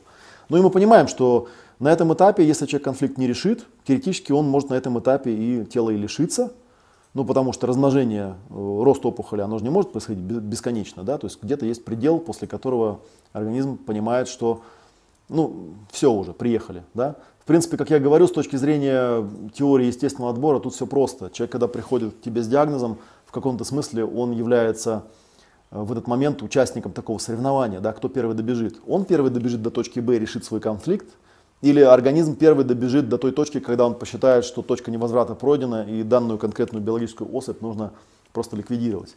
С точки зрения человеческой морали, с точки зрения того, что мы знаем о себе, не знаю, там, о своих детях, о тех людях, которые болеют, звучит это очень ужасно. Но нужно понимать, что с точки зрения биологии ценны не ну, ценно не кон- конкретное существо, не конкретная там биологическая особь, да, вот это, а ценно сохранение выживательного генетического пула. Если у этого конкретного организма произошел конфликт, с которым он не справился, то как бы логично с точки зрения биологии данный, данную особь ликвидировать, потому что ну зачем она такая нужна, неприспособленная, да, потом еще нарожают таких же неприспособленных, соответственно эти невыживательные гены будут потом в поколениях воспроизводиться. Поэтому звучит цинично, но вот биологическая этика, она такая очень простая и прямолинейная, да. Это, конечно, ужасно осознавать, когда смотришь на маленьких детей, например, которые болеют онкологией, и ты понимаешь, что да, вот они тоже сейчас, ну, с маленькими детьми это вообще отдельная история, да, маленькие дети, они, как правило, это же санитары своих родителей, да, они решают проблемы не свои, это не у них конфликты, это у родителей конфликты, и это еще ужаснее, да, это осознавать. Но, тем не менее, если мы посмотрим по схеме, предполагается, что в какой-то момент человек эту проблему решает. Может быть, пропадает какой-то внешний фактор, который ему этот конфликт создавал. Может быть, он внутри как-то там, да, что-то, какую-то практику использует для того, чтобы по-другому начать это воспринимать, эту ситуацию. И конфликт решается. Да, и там на схеме мы видим такой зеленый треугольничек с восклицательным знаком. У Хаммера это называлось конфликтолис, да, разрешение конфликта. И после этого запускается восстановительная фаза. Вот она такая там в виде таких двух красных полукругов, и посередине там, да, синяя такая синяя такая гулька торчит, да, критическое состояние, она состоит на самом деле из трех подфаз, да, есть фаза отека, так называемый э, эпилептоидный кризис и фаза рубцевания. И там тоже изображены, ну это как бы понятно, это уже не предмет нашего, нашей маленькой презентации, но тем не менее тоже можно определить по компьютерной томограмме, в какой фазе находится данная конкретная ситуация. То есть она все еще активная, и это означает, что в данном случае терапевт должен максимально как-то так человека подвести к осознанию того, в чем этот конфликт состоит и как из него выйти. Или это уже Э, восстановительная фаза, да, в принципе, человека можно поздравить и сказать, просто доверяйте теперь своему телу, потому что оно уже идет к выздоровлению. Нам теперь осталось только убедиться, что у нас нет никаких вот этих остаточных эмоциональных зарядов, э, которые могут активироваться какими-то вторичными событиями в жизни, да, нам нужно просто с ними справиться, вычистить все это, да, и немного подождать, может быть, использовать какую-то вспомогательную терапию, да, чтобы тело как-то лучше эти фазы проходило легче, но мы уже пошли к выздоровлению. Собственно говоря, это второй закон Хаммера, да, что любая болезнь состоит из двух фаз. И мы можем, как я уже там говорил мимоходом, да, что э, все известные диагнозы можно поделить вот на две эти категории. Да, это болезни активной фазы конфликта и болезни восстановительной фазы конфликта. И тут единственное, что э, немного такая происходит ну, я бы даже сказал, что некий обман в терминах происходит, потому что восстановительная фаза вовсе не означает, что человек выздоровеет обязательно, потому что все зависит от того, как он обошелся с тем конфликтом, который изначально случился у него. Потому что, ну, если бы у человека был бы один бы конфликт на всю его жизнь, как, может быть, когда-то было у каких-нибудь кроманьонцев, да, там за всю жизнь у него один конфликт случился, там, да, за ним гнался тигр и не догнал его, и он после этого заболел. А у нас эти конфликты происходят там пачками, каждый день, постоянно человек, э, у него это все активируется, реактивируется, рестимулируется, э, терминах Хаммера это называется треки, да, то есть есть какие-то вещи, которые реактивируют процесс снова и снова. И поэтому вот эта вот простая схема, а, она в реальности она может выглядеть очень запутанной, да, то есть, грубо говоря, представьте себе вот такую же схему, которая там десяток раз наложена друг на друга, причем вот со сдвигом, да, и все это как-то суммируется, поэтому иногда бывает очень трудно понять, что у человека происходит, и приходится с ним достаточно большую работу по сортировке всего этого производить. Вот, я вот немножечко это говорил, говорил уже немножечко, да, у нас там, ну, еще есть время, да, можно немножечко такую э, рассказать следующую вещь, потому что следующий третий закон, он говорит о том, что есть вот разные виды тканей, они предсказуемым образом реагируют на каждую фазу конфликта. Я уже упоминал, да, что таких видов Хаммер выделил четыре, они соответствуют четырем областям мозга, в которых находятся эти реле. Это ствол мозга, энтодерма, да, внутренний зародышевый лепесток. Это старая мезодерма, реле управления которой находится в мозжечке, это новая мезодерма, реле управления, которым находится в подкорке, и это эктодерма, э, у которой реле находится в большом мозгу, в коре находится. Вот, и, соответственно, они там соответствующим образом реагируют. И я иногда делаю такую тоже инсценировку, она очень такая интересная и увлекательная. Вот представьте себе, вот представьте себе, что э, где-то в первичном океане да, возникла некая жизнь. И ну, вопрос номер один, да, вот, а как мы определим, что вот это какая-то такая медуза или там, не знаю, какое-то очень примитивное существо, которое плавает в этом первичном океане, что оно живое, а не мертвое, да? У него есть определенные функции, по которым об этом судят. И, ну, первое, что мы понимаем, оно, наверное, что-то кушает, как-то это переваривает, да, и какие-то есть у него там экскременты, да, то есть есть желудочно-кишечный тракт, как бы он ни выглядел, да, то какая-то трубка вот отсюда входит, отсюда выходит. Кроме того, э, как правило, да, оно размножаться должно, потому что если оно размножаться, то есть если нет репликации, то тоже это неживое существо, то есть это половые органы. И, как правило, оно еще дышит, то есть есть какой-то химический обмен с окружающей средой. Если вы на схеме Хаммера увидите, что, то вы увидите, что вот как раз эти органы, то есть весь ЖКТ практически, половые органы, легкие, да, они у него вот покрашены в желтый такой канонический цвет. Это означает, что они управляются стволом мозга, что они относятся к энтодермическим тканям. И у них всегда одна, это, один тот же паттерн реагирования. То есть если вот это вот эта наша кишка такая плавает да, в первичном океане, то понятно, что на любой стресс она реагирует всегда одинаково. Как? Она начинает увеличиваться. Да? То есть если ты не можешь там что-то проглотить, ну увеличится тогда. Да? Не можешь размножиться, ну тоже там увеличь так, чтобы было за километр видно, что ты собираешься тут размножаться. Да, если не можешь там дышать, ну легкие, значит, нужно сделать огромные какие-то, да, если там кислорода не хватает. То есть паттерн совершенно архаичный, совершенно понятный, да, и он для этой кишки, для медузы, он никакого вреда не приносит, да, то есть быть большой медузой лучше, чем быть маленькой медузой, да, ты по-любому выживаешь. Вот. Ну, а теперь представьте себе, да, вот она там плавает, да, питается какой-то неорганикой, и в какой-то момент она соображает, а зачем я неорганикой питаюсь? Лучше жлопать там соседи, они же вкусные, они вкуснее, чем камешки там зеленые какие-то, да? Ну и они начинают лопать друг друга, появляются жертвы и хищники, и в какой-то момент возникает необходимость как-то защищаться. И э, вот возникает новая ткань, да, старая мезодерма. Старая мезодерма это разные оболочки. Вот у нас, если вы знаете, в теле все, все органы, они разложены по мешочкам, да. То есть есть там плевра, брюшина, перикард, там мозговые оболочки, дерма, вот самый большой такой мешок, в котором все тело. И это именно оболочки, функция которых э, это защита, защищенность. Да? То есть если мы берем вот эту энтодерму, желтую, управляемую стволом мозга, мы понимаем, что все базовые конфликты, связанные с этими органами, этими тканями, они всегда будут про что? Они будут про выживание, да, там, про размножение, про нехватку какую-то, да, чего-то. То есть это все такие процессы, э, которые относятся к тому, что если этого не будет, то все, смерть. Да? Ну там единственное, что может быть оговорка, что если это касается размножения, то смерть как бы не прямо сейчас и со мной, да, смерть просто, ну вот я отжил, как бы, и дальше никакого потомства не оставил. Все, как бы, да, моя линия закончилась. Это то же самое, с точки зрения генов, это все равно смерть. Да? То есть это все такие смертельно опасные конфликты, связанные с выживанием. С оболочкой немножечко другое, да, то есть аспект появляется некой защищенности. Как правило, люди, которые, ну, скажем, я не знаю, там, в качестве примера можно взять там меланому, к примеру, да. У меня было несколько клиентов с меланомой, и там всегда вот этот вот есть конфликт незащищенности, когда человек э, имеет конфликт, когда на него смотрят, ему кажется, что все там видят его насквозь, что это какой-то позор, что все могут понять, что у него там внутри там, и так далее. То есть некое такое конфликты, связанные с проникновением, с вторжением в его личную область, с нарушением его границ. Да? Я думаю, что эта аналогия вполне видна биологически, как это происходит. А, ну вот, вот эти организмы разложили все свои важные, жизненно важные органы по мешочкам, да, стало как-то немножко попроще, да, научились защищаться от агрессивной внешней среды. А, дальше что происходит? Ну, дальше как-то хочется да, обрести некую опору. Вот дальше. И, кстати говоря, у вот этой старой мезодермы тоже паттерн реагирования точно такой же. Понятно, что если я не защищен, да, и у меня возникает конфликт защищенности, что лучше сделать? Ну, толстить, там, да, увеличить эту оболочку, да, чем она больше, чем толще, тем лучше же, тем я защищен не буду, тем круче все это будет. Поэтому ткани, которые вот я перечислил, эти органы, да, они реагируют тоже всегда размножением на активной фазе конфликта. Вот. А дальше у нас идет э, так называемое белое вещество мозга, следующий реле и следующая часть организма, ну, если говорить обыкновенными терминами, которые всем известны, это опорно-двигательный аппарат. То есть в какой-то момент организм понимает, что ну как бы болтаться вот медузой там где-то, э, будучи там, да, в полной власти там течения и так далее, не очень-то интересное занятие. Хорошо бы там иметь какие-то конечности, да, у них начинает появляться там скелет, мышцы и еще там что-то такое, да, ну, в общем, опорно-двигательный аппарат. И тут интересная такая вещь появляется, что здесь у нас э, как раз таки э, прямо обратное происходит. Видимо, так устроено, что опорно-двигательный аппарат, он не является жизненно важным чем-то. Я все время вспоминаю, есть такой, э, есть кино, сравнительно такое свежее, называется «Вселенная Стивена Хокинга». Вот, и там есть такой момент, когда э, его друг несет его на руках там, на какое-то празднование, а празднуют они то, что у него там третий ребенок родился. И он, он несет полностью парализованного и говорит ему, я говорит, не понимаю, как ты же, вот у тебя же вообще, как третий ребенок-то откуда? Вот, а Стивен Хокинг так усмехаясь говорит ему, а это другая система.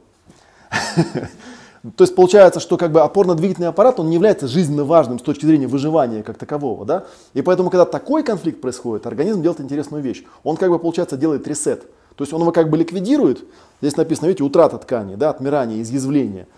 А потом, когда конфликт решается, он, по идее, эту функцию восстанавливает. Но другое дело, что, ну вот, видимо, в конкретно в случае Стивена Хокинга, да, несмотря на то, что он прожил поразительное количество лет, ну, для того диагноза, который у него был, э, тем не менее, да, все равно он умер, и была все равно у него прогрессия. То есть, видимо, исходный конфликт решен не был.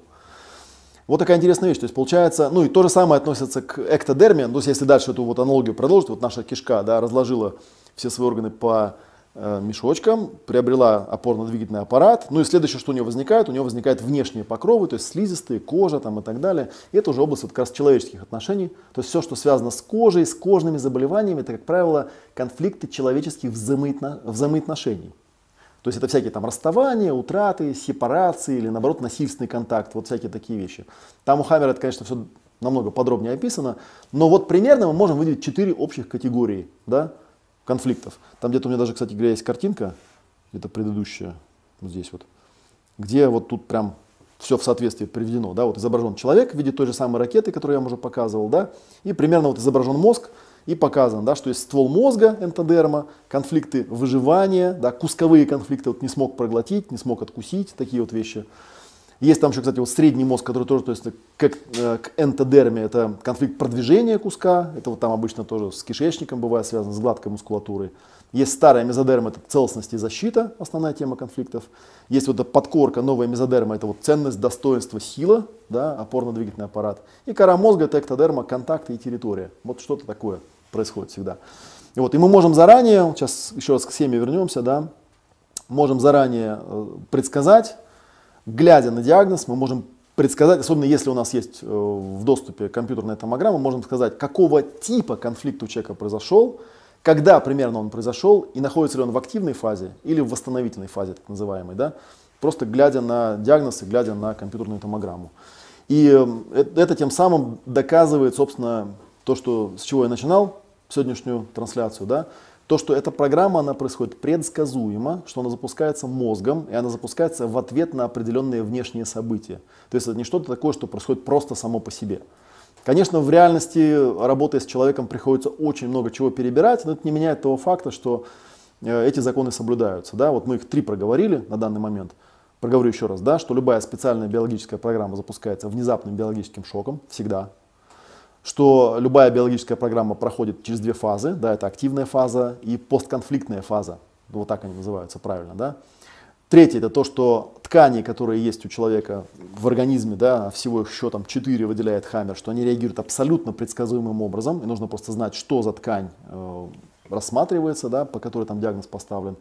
Есть еще четвертый закон Хаммера, э, который говорит о том, что даже так называемые инфекционные заболевания, если они связаны с э, нашей внутренней флорой или фауной, как она правильно называется, в общем, с нашими внутренними друзьями. У каждого человека в организме к нашему ужасу находится от 4 до 5, у некоторых больше килограмм микроорганизмов.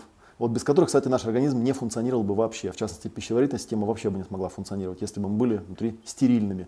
Поэтому, кстати говоря, забегая вперед, когда вы слушаете вот эти вот сказки, там, знаете, там кругом паразиты, нужно выводить паразитов, ну, это не паразиты, это ваши симбиоты так называемые. И Хаммер, э, четвертый закон Хаммера утверждает, что симбиоты также действуют по указанию мозга, то есть они участвуют в тех процессах, э, которые нужны мозгу ну, для реализации либо активной фазы конфликта, либо постконфликтной фазы. Есть еще пятый закон, который говорит, что во всем этом есть биологический смысл.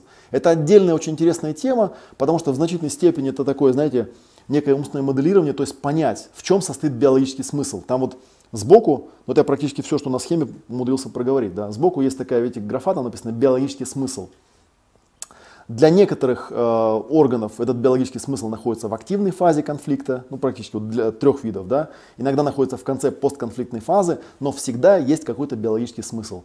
И биологический смысл определяется вот такими простыми параметрами. Да? То есть если посмотреть на это не с точки зрения человеческого конфликта, а с точки зрения органа, который реагирует на определенные события и, например, начинает там разрастаться, скажем, да, с точки зрения органа это абсолютно правильное биологическое реагирование. Мы не можем сказать, что это какой-то сбой в ее программе. Нет, эта программа изначально там была. Она миллионами лет эволюции была туда заложена.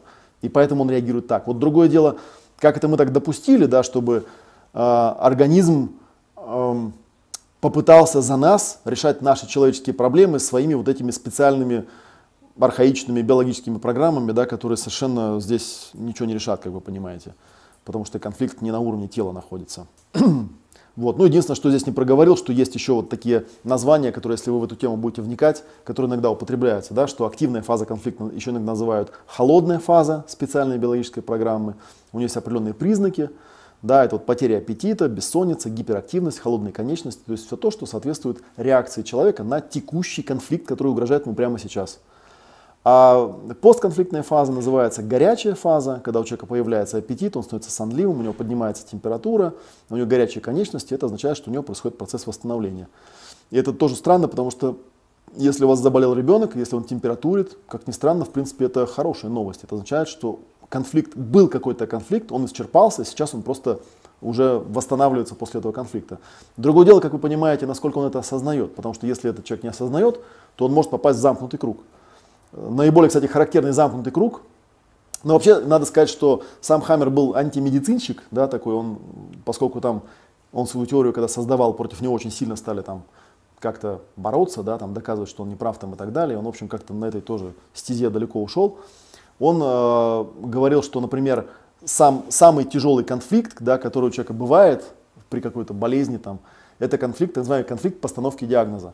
Вот представьте себе, человек приходит, например, да, а у него там ну, какая-то болезнь, которая соответствует восстановительной фазе конфликта. Я не знаю, там, ну вот характерный пример, есть у меня там есть знаменитое видео в интернете, которое все смотрят, про туберкулез. Да, туберкулез это восстановительная фаза конфликта, страха, смерти и безысходности.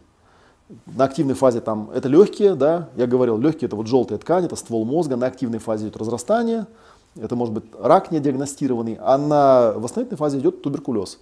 Но, как мы знаем, туберкулез штука довольно страшная, да, и, в общем-то, там лечение не помогает. И иногда бывает замкнутый круг какой. Я это сам просто пережил, потому что у меня был близкий человек, который от туберкулеза умирал. Когда ты приходишь в туберкулезку, да, и тебе прямым текстом говорят, ну все, вам конец, вы умрете. Да, и как вы все, вот вы пришли, да, там авторитетный человек сидит в белом халате, да, он говорит, о чем? Я просто помню, у меня, у меня у самого конфликт на эту тему произошел, когда я с врачом просто сидел, разговаривал, он говорит, а что, какие у вас надежды? У вас надежд никаких нету, все, это капец, все.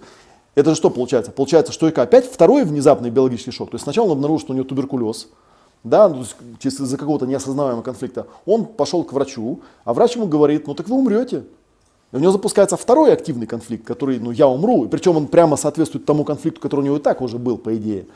Ну и все, он попадает, он как белка в колесо попадает. У него получается такое постоянное, то есть каждый раз, когда он начинает думать о том, что он умрет, у него активная фаза включается. Каждый раз, когда он ночью ложится спать и засыпает, у него восстановительная, постконфликтная фаза включается. Ну и долго там организм эту болтанку выдержит, недолго.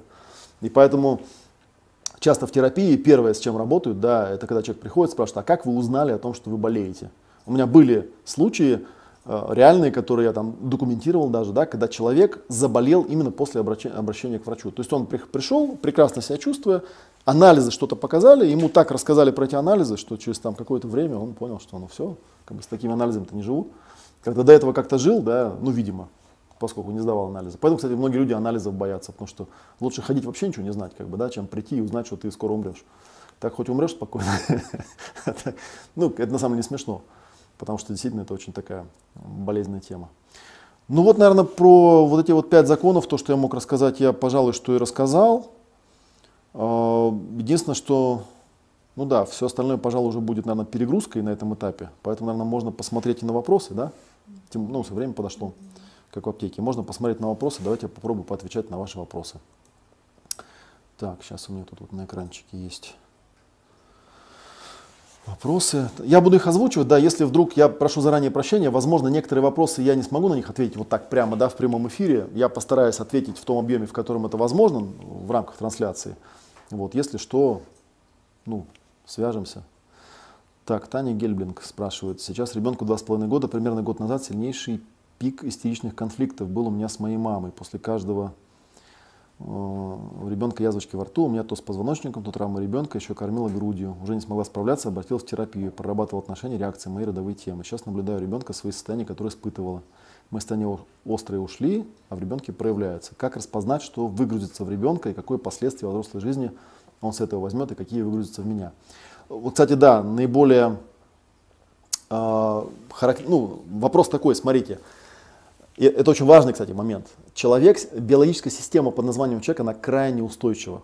Поэтому это еще один такой момент, который вот не устраивает тех людей, которым нужна полная научность, потому что научная гипотеза она должна предсказывать последствия. На самом деле, если у человека случилась какая-то ситуация, даже если она соответствует всем критериям биологического шока, да, и там по всем параметрам попадает и так далее, это вовсе не означает, что у человека будут какие-то последствия. Возможно, последствий не будет никаких вообще. В 99, да, запятая 9, 9, много девяток после запятой процентах случаев, а, никаких последствий у человека не возникает потому что он слишком устойчив. То есть для того, чтобы у человека какие-то последствия возникли, да, это нужно там особое сочетание обстоятельств, скажем так.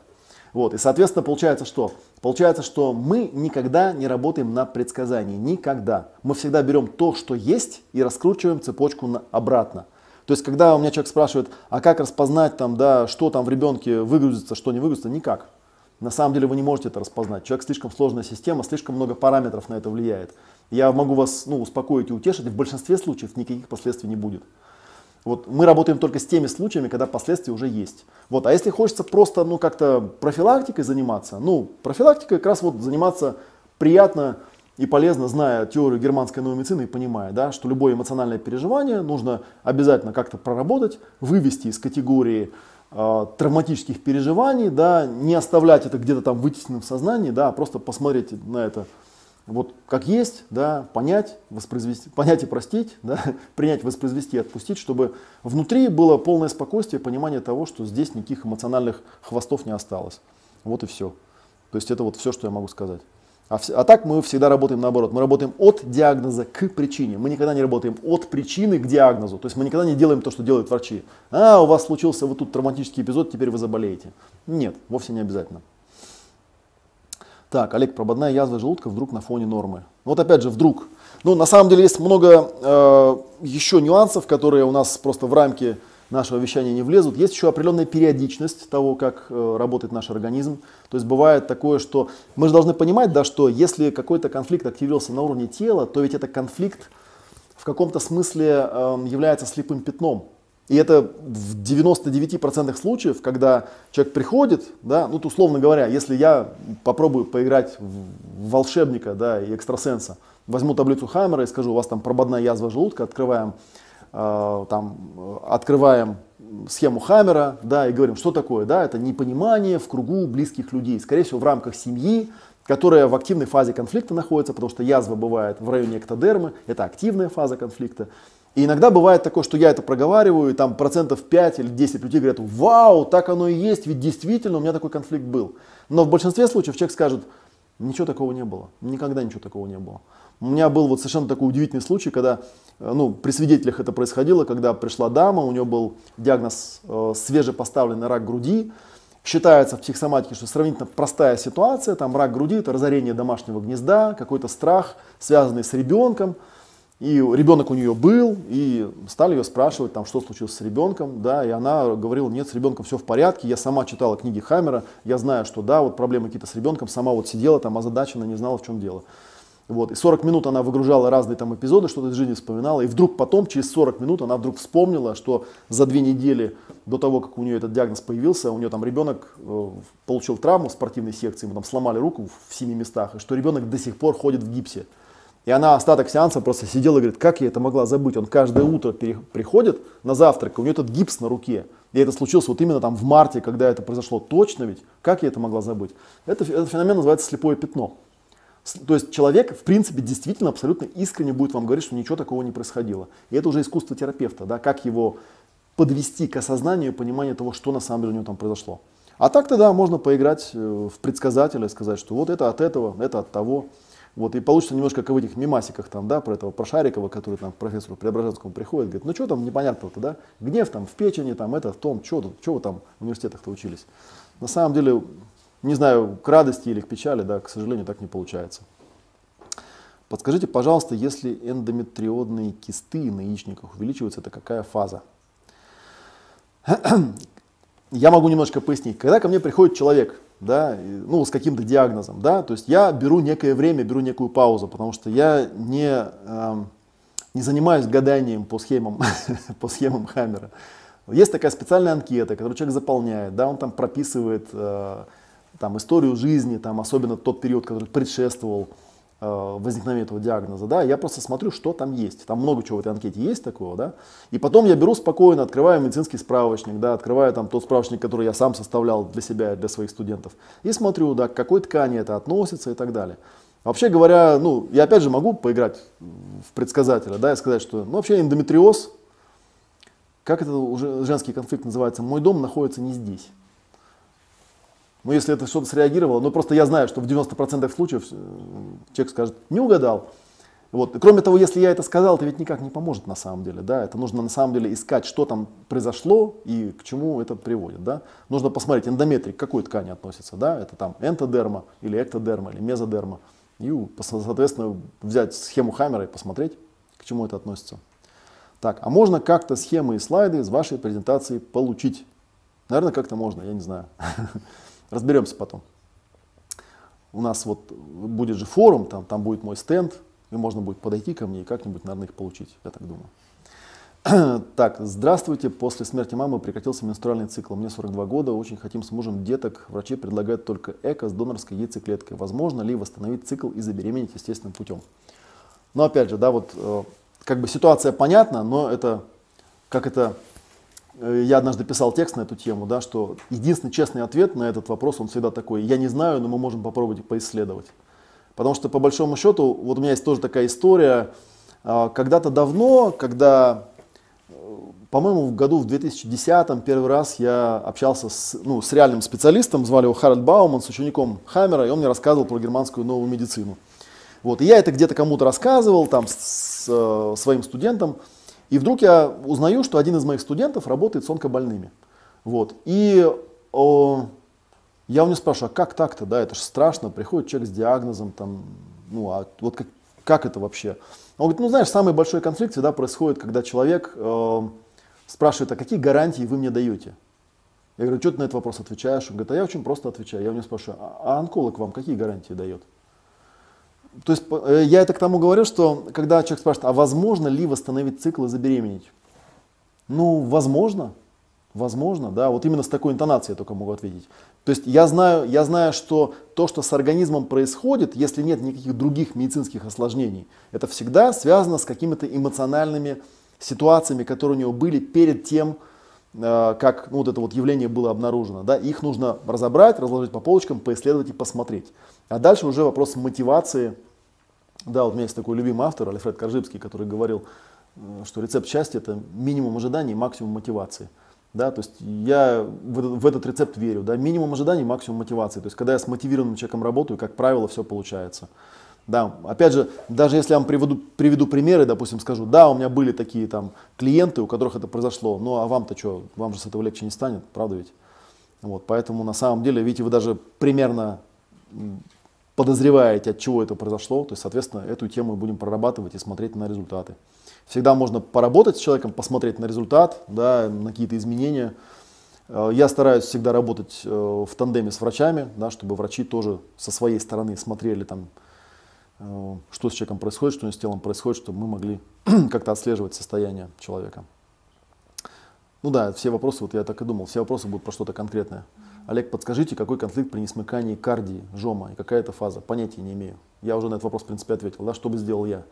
Я бы взял, посмотрел, что это такое, что это за диагноз, посмотрел бы, где это э, находится в организме, какая это ткань, посмотрел бы по схеме Хаммера, к чему это относится, и дальше попросил бы человека заполнить анкету и соотнести то, что он выдает мне в качестве истории жизни, с тем диагнозом, который он, э, ну, про который он спрашивает.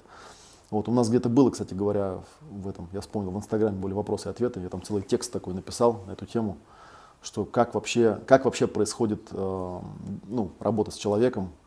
К сожалению, вот видите, э, я бы рад, конечно, бы сказать человеку, да, что да тут все просто, типа взяли вот так вот и там вот это от этого, это от того, и, и вот прослыть там, да, волшебником, целителем.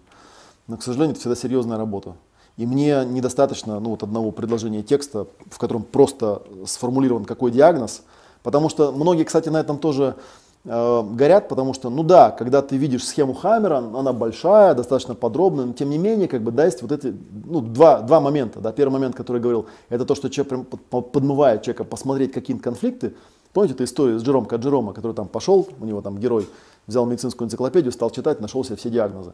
Вот то же самое подмывает там посмотреть все эти конфликты, все их у себя найти и потом впасть в ипохондрию ужас, там, да, что теперь я всем этим по списку заболею. Хотя оно так не работает. Да, и второй момент это как бы пойти и посмотреть, сказать, ага, там у него значит вот это, вот это, значит у него конфликт вот такой. Потом прийти и сказать, да это у тебя вот это. Как я уже говорил, бывают такие редкие случаи, когда человек говорит, точно, блин, это, видимо, какая-то такая особая простота ума нужна. У нас все люди непростые всегда, да, с развитым, богатым душе, духовным миром там, и так далее. И они, как правило, скажут, нет, такого не было. И я вам не могу сказать, там, сколько десятков раз такое было, когда я поначалу, особенно когда начал работать, человек приходит и говорит, там, вот у меня то-то, то-то, проговаривает какой-то диагноз. Ну, я такой, да это вот это у тебя. Человек говорит, да ничего подобного, у меня все в порядке в этой области.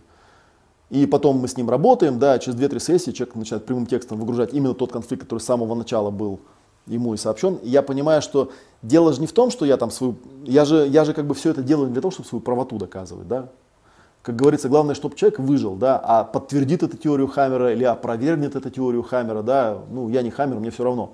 Мне главное, чтобы человек у меня живой остался и выздоровел. Вот, поэтому бывают такие случаи, что человек выздоравливает, ты вообще не понял, почему это произошло.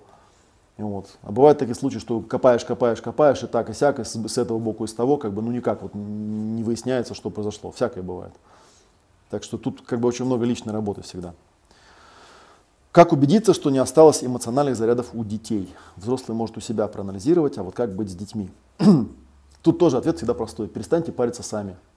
Позаботьтесь о себе. Знаете, как в самолетах эта табличка, да? Вначале обеспечьте кислородной маской себя, а потом ребенка. И, кстати говоря, в этом глубокая философская мудрость есть. Вы вначале сами успокойтесь просто, вот, и перестаньте париться по поводу того, что с вашими детьми что-то не так. Вот, а потом можете спокойно наблюдать, что у них оказывается и так все в порядке. Поэтому анализировать ничего не надо. Да, и особенно париться и убеждаться по поводу, там, есть у них эмоциональные заряды или нет. Если у них есть эмоциональные заряды, вы об этом очень легко узнаете довольно быстро. Поэтому для профилактики просто поработайте с собой.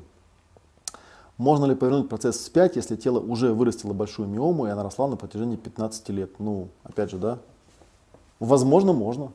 Всякое бывает.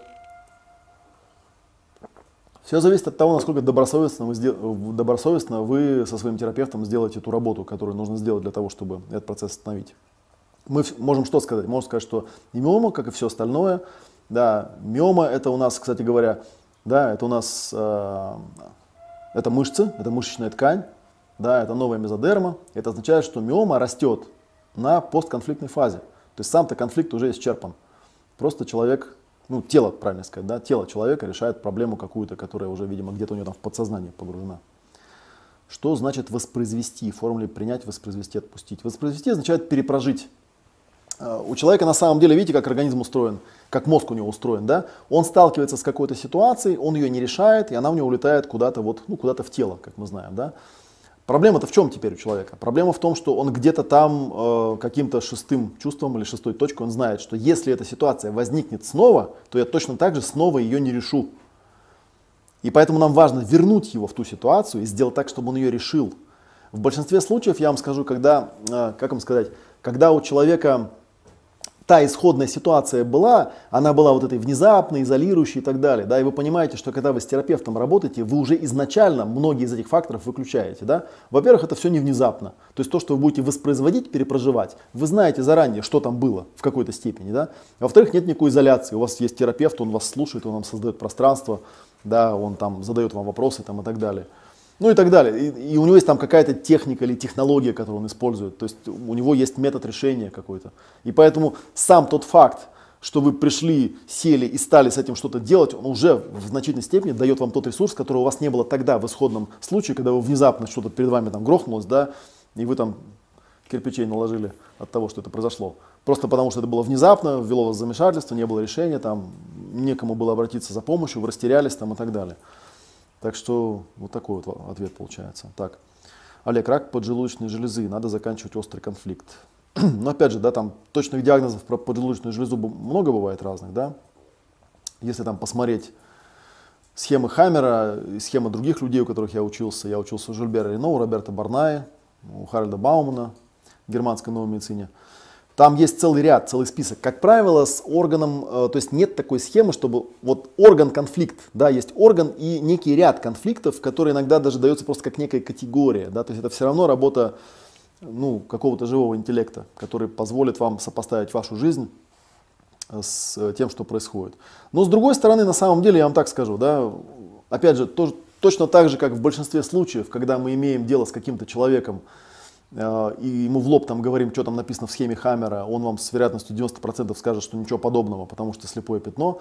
Точно так же очевидно, когда я человеку даю вот эту анкету заполнить, там есть, ну, форма анкеты такая, да, типа первичный опросник такой, да, который он сам заполняет, который в значительной степени и его, и меня избавляет от этой вот рутинной такой, да, эм, как называется, да, ну, такой анкетной работы, когда я ему там задаю вопрос, а что было тогда, что было тогда. Как правило, в большинстве случаев, когда анкету смотришь, даже это самому человеку становится очевидно, он смотрит, он понимает, что ну вот же очевидно, вот был эпизод, и вот появился диагноз, как бы, да, тут и ходить никуда особо не надо, чтобы понять от чего. Другое дело, как теперь принять, воспроизвести и отпустить, потому что бывает такое, что у человека там, э, как, сейчас, как тогда не было ресурса, так и сейчас нет ресурса, да, но с другой стороны, с хорошей стороны, зато если у него этот ресурс есть, теперь уже, то иногда бывает достаточно просто просознать, что да, это специальная биологическая программа, да, она была запущена этим эпизодом, да, этот эпизод себя исчерпал, да, он абсолютно не актуален, сделать вдох-выдох, порадоваться тому, что вокруг меня все хорошо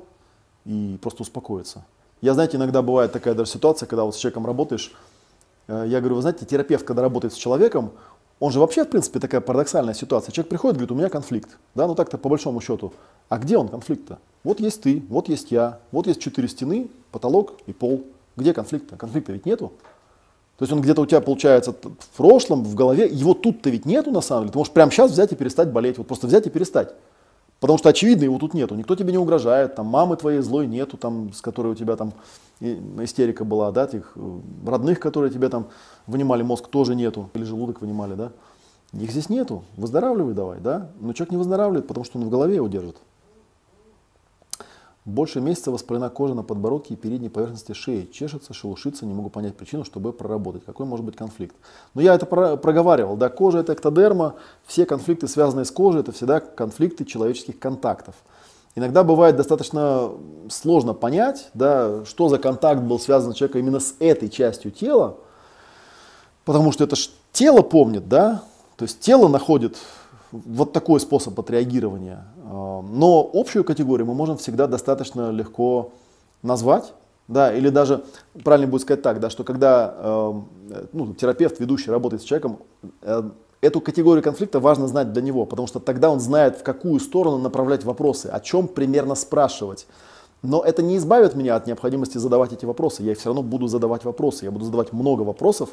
И я буду учить человека тому, что мы сейчас пришли тут не поговорить, вот как некоторые думают, да, что, а что я там, я вон с подругой могу в кафе там пивка взять и поговорить. Нет, терапия это не разговор. Терапия это очень такой сложный процесс, связанный с тем, что человек должен фокусироваться, человек должен научиться там, да, погружаться в вот эту внутреннюю медитацию, транс, контактировать свои чувства. У большинства людей это огромная проблема. Они видят симптом, говорят, ну вот а что у меня тут вот такое, да, нельзя как-то так сделать, чтобы перестало ну, можно, если у тебя есть там супер прокачанные способности контакта со своими чувствами, просто если бы они у тебя были, то у тебя бы этого не было. Вот в чем проблема. То есть, опять же, замкнутый круг получается. Так, я не знаю, то ли вниз листать, то ли вверху. Дойду до низа, а потом до, сверху начну, да? Так, давление стало повышаться у меня, и три смайлика. Активная фаза конфликта.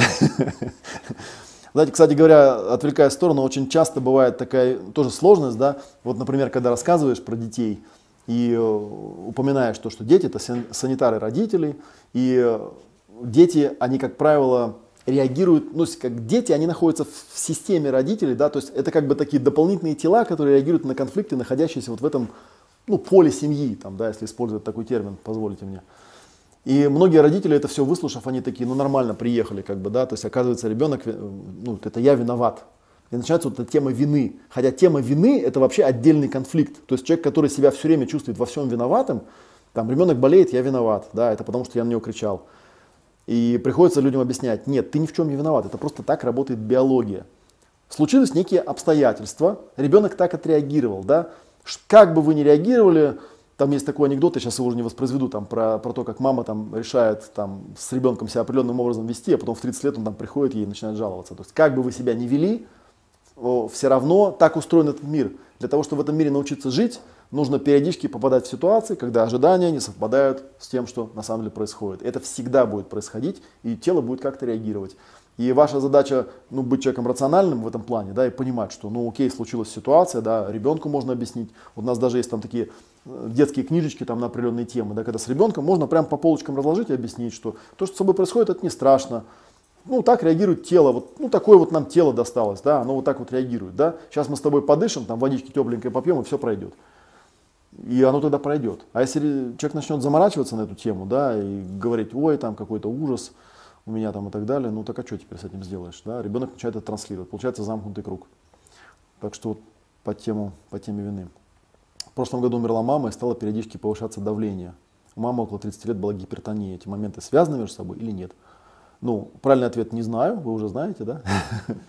Возможно, это нужно исследовать. Такое бывает, да, бывает такое, что неразрешенные конфликты родителей, предков наследуются потомками, потому что они являются их биологическими потомками. Да, и биологические особенности реагирования на какие-то ситуации, ну, во-первых, они с детства закладываются просто, да. Знаете, опять же, вот э, характернейший такой пример. Вот представьте себе, э, для любого ребенка мама и папа это те, кто его создал, да, это по сути как ну, боги, да, есть мама и папа, это суперфигуры.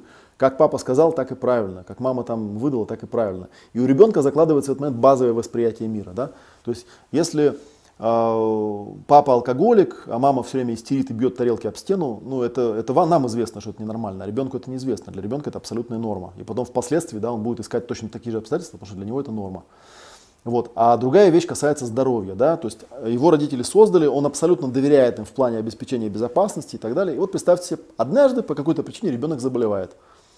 И его ведут в больницу, да, и там какой-то есть человек, и тут ребенок обнаруживает, что есть такой, вот если папа и мама это боги, есть такой супер бог в белом халате, мама с папой его боятся, и более того, если этот супер бог что-то скажет, ну там типа вашего ребенка там, да, то они там трясутся, и у ребенка закладывается изначально это же у многих такая штука есть, да, страх врачей.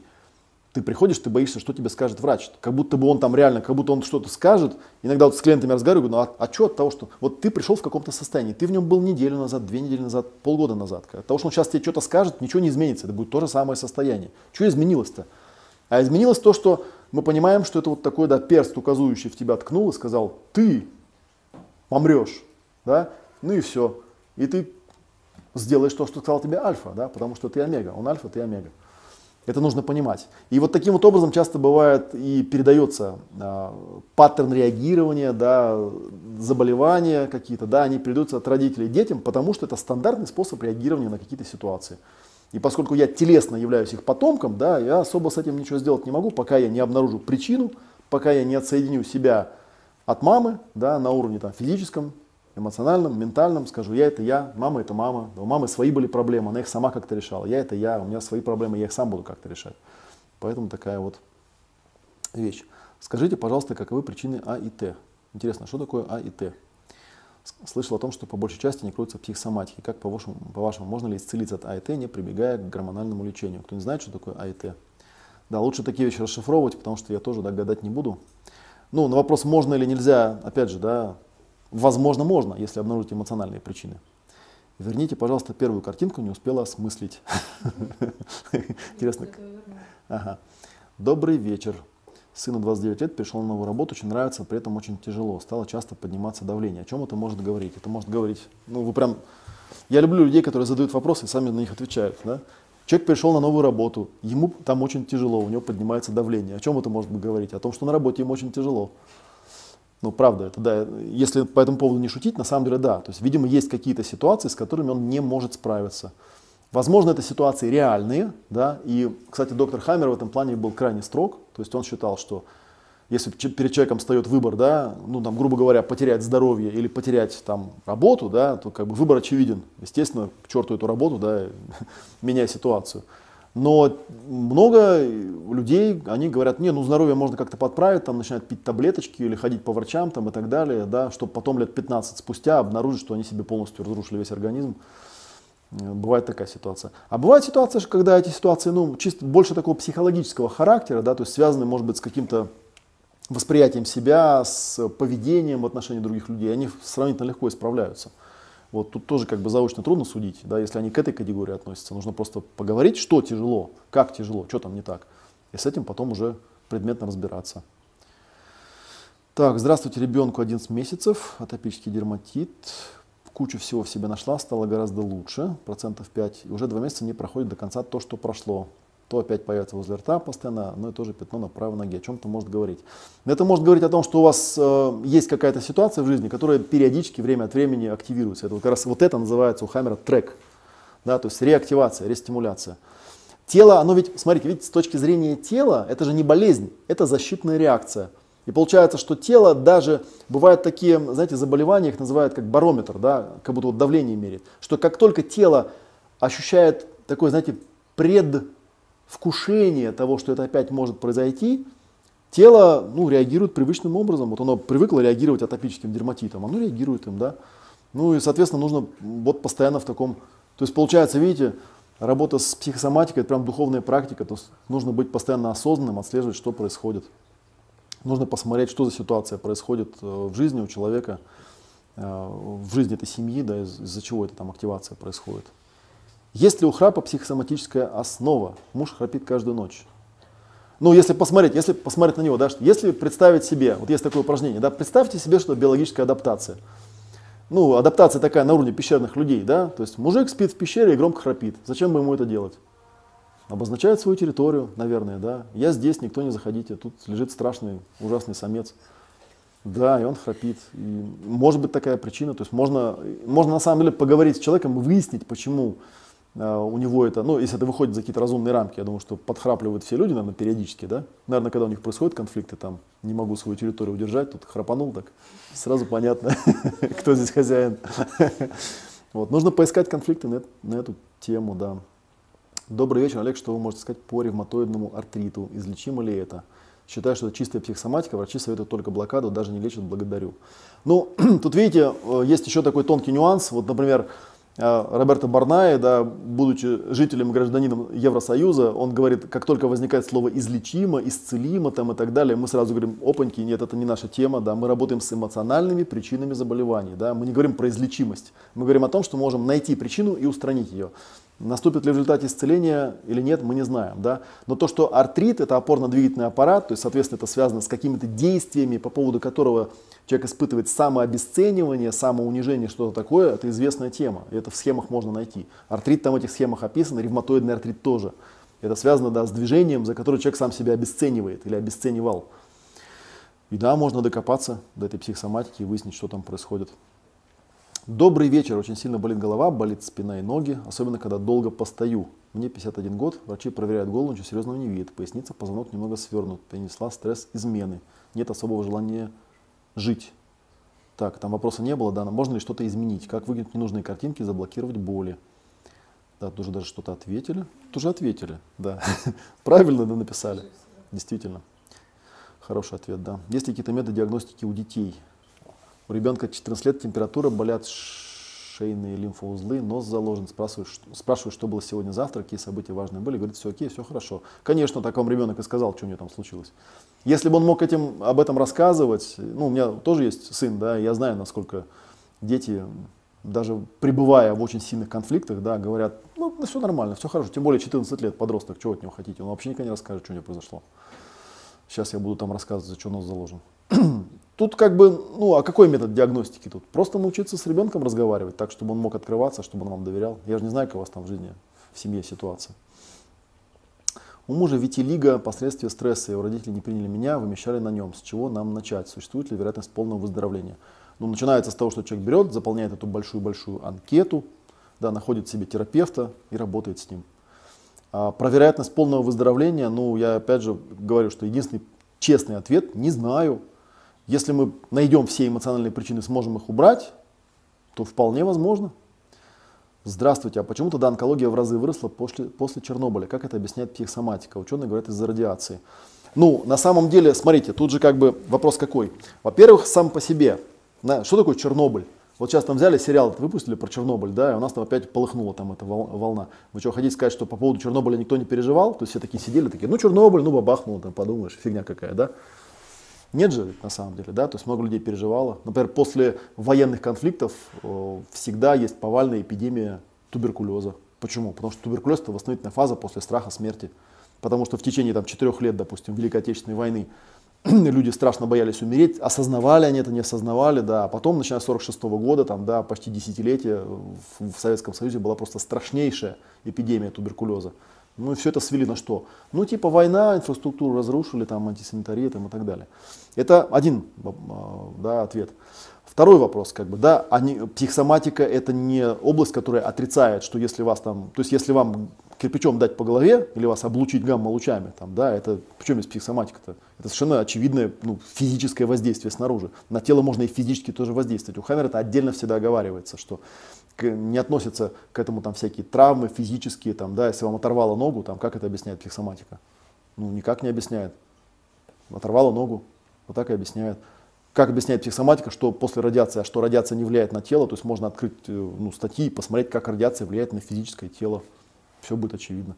Просто другое дело, что э, организм обороняется все теми же специальными биологическими программами, есть какая-то ткань, она повреждена, организм таким образом защищается. То есть, если ткань была уничтожена радиацией, ткань пытается вырасти обратно. Вот и все. Так, что у нас время еще есть? Закончим по вопросам, да? Так, ребенок 6-8 лет, как наступает холода, появляется аллергия на коже, вокруг рта и на руках, тыльная сторона ладони, покраснение, сухая кожа. О чем это говорит? Ну, знаете, я иногда, у меня есть такая теория, да, что есть, есть такая смешная карта, что вся территория бывшего Советского Союза, если посмотреть на температурную карту планеты, она четко соответствует какой-то там изотермии то ли января, то ли февраля. То есть, в принципе, на этой территории люди жить не должны. То есть, как бы то, что люди болеют, у них там что-то из носа там течет и так далее, это не очень, не очень тоже психосоматический момент, по большому счету.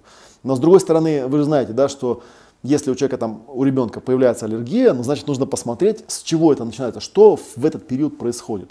Потому что у нас есть такие еще, вот я Фрейда упоминал, можно еще Юнга упомянуть. Юнг там рассуждал про коллективное бессознательное. Да? У нас есть уже такие глобальные вещи, там наступает осень, что там осенью случается у всех – депрессия какая-нибудь наступает, да, потом наступает зима, там все говорят, елы-палы, когда на закон. Ну, то есть есть коллективный конфликт на тему того, что, конечно, хотелось бы, чтобы зимы не было. И дети, они очень чувствительны, они могут это все воспроизводить. Некоторые дети более чувствительны, чем другие. И, в принципе, можно это тоже прорабатывать, можно это проговаривать, можно это осознавать и смотреть, что происходит. Увеличенные лимфоузлы у ребенка всегда это, это о чем? Анализ крови в норме. Увеличенные лимфоузлы – это восстановительная фаза после конфликта самообесценивания. Кто-то ребенка либо самого ребенка, либо его родители, либо кто-то в окружении занимается самообесцениванием. И вот у него постоянно по этому поводу, видимо, такая, такое отреагирование и происходит.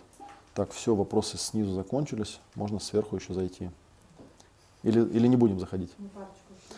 Так, что на форуме 6 октября будет нового по сравнению с прошлым, позапрошлым годом? Это ведущие мои ответят, да. А, у сына бронхиальная астма, обструктивные бронхиты. На седьмой день жизни попал в больницу вирусов парагрипп. С какого периода искать причину? Какой это конфликт? Тут на самом деле огромная большая тема, да, потому что у детей до подросткового возраста, до 10 лет, это всегда конфликты родительские. И конфликты ищут в так называемом периоде программирования. А период программирования это самое-самое начало жизни. Даже до зачатия на самом деле обычно смотрят. Берут период за 9 месяцев до зачатия, до первого года жизни и смотрят, что там происходило с родителями. Потому что если у ребенка с самого начала были эти конфликты, значит, что-то у родителей были какие-то нерешенные темы, которые нужно... Тоже они там прописываются, проговариваются в присутствии ребенка определенным образом, да, но я сейчас в это сильно погрузиться не смогу, но если вы к нам на стенд подойдете, то мы, наверное, вам об этом подробнее сможем рассказать. У нас там стендик будет красивый, там все будет нарисовано красиво. Весь, вся германская новая медицина на одном стенде. Что скажете насчет того, что во взрослой жизни, допустим, уже в браке партнеры воспроизводят те ситуации, вернее, состояние реакции ощущения, которые испытывали в раннем детстве от 5, до 5-10 лет? Ну, а что скажу, так и есть. Так и есть. Олег, а как можно попасть к вам в студенты? На форуме подходите ко мне и спрашиваете, как попасть, и мы вам раз и рассказываем. Так, у ребенка была ганглионейробластома. К какой ткани это относится? Ну, я, опять же, да, не буду тут изображать себя энциклопедиста и эрудита. Мне для этого нужно отдельно посмотреть. Нервная ткань это эктодерма. Мне подскажут, что это нервная ткань, да? Эктодерма. Если эктодерма, это всегда конфликт э, человеческих отношений, да. С шеей, хондроз, защемление, какой конфликт? Опорно-двигательный аппарат, категория конфликтов, самообесценивание будет всегда. Аутоиммунный тиреодит, это щитовидка, Ой, щитовидка у меня прям целый анекдот есть, да? А? Это есть А, аутоиммунный тиреодит. Ну вообще, когда в названии э, заболевания присутствует слово аутоиммунный, да, это мое личное мнение, со мной можно не соглашаться, да, это стопроцентная психосоматика, гарантированно просто. То есть это какой-то эмоциональный конфликт. А когда это касается щитовидки, ну обычно щитовидка, вот у меня есть такое наблюдение, да, у меня было там ряд э, клиентов, как правило, это женщины, и как правило, это женщины борцы за правду, борцы за справедливость. То есть, если приходит человек, говорит, у меня там что-то с щитовидкой, что, небось, за правду там, да, с начальством воюешь. Ага, откуда вы знаете? Откуда? Оттуда. Потому что это орган, который на это реагирует.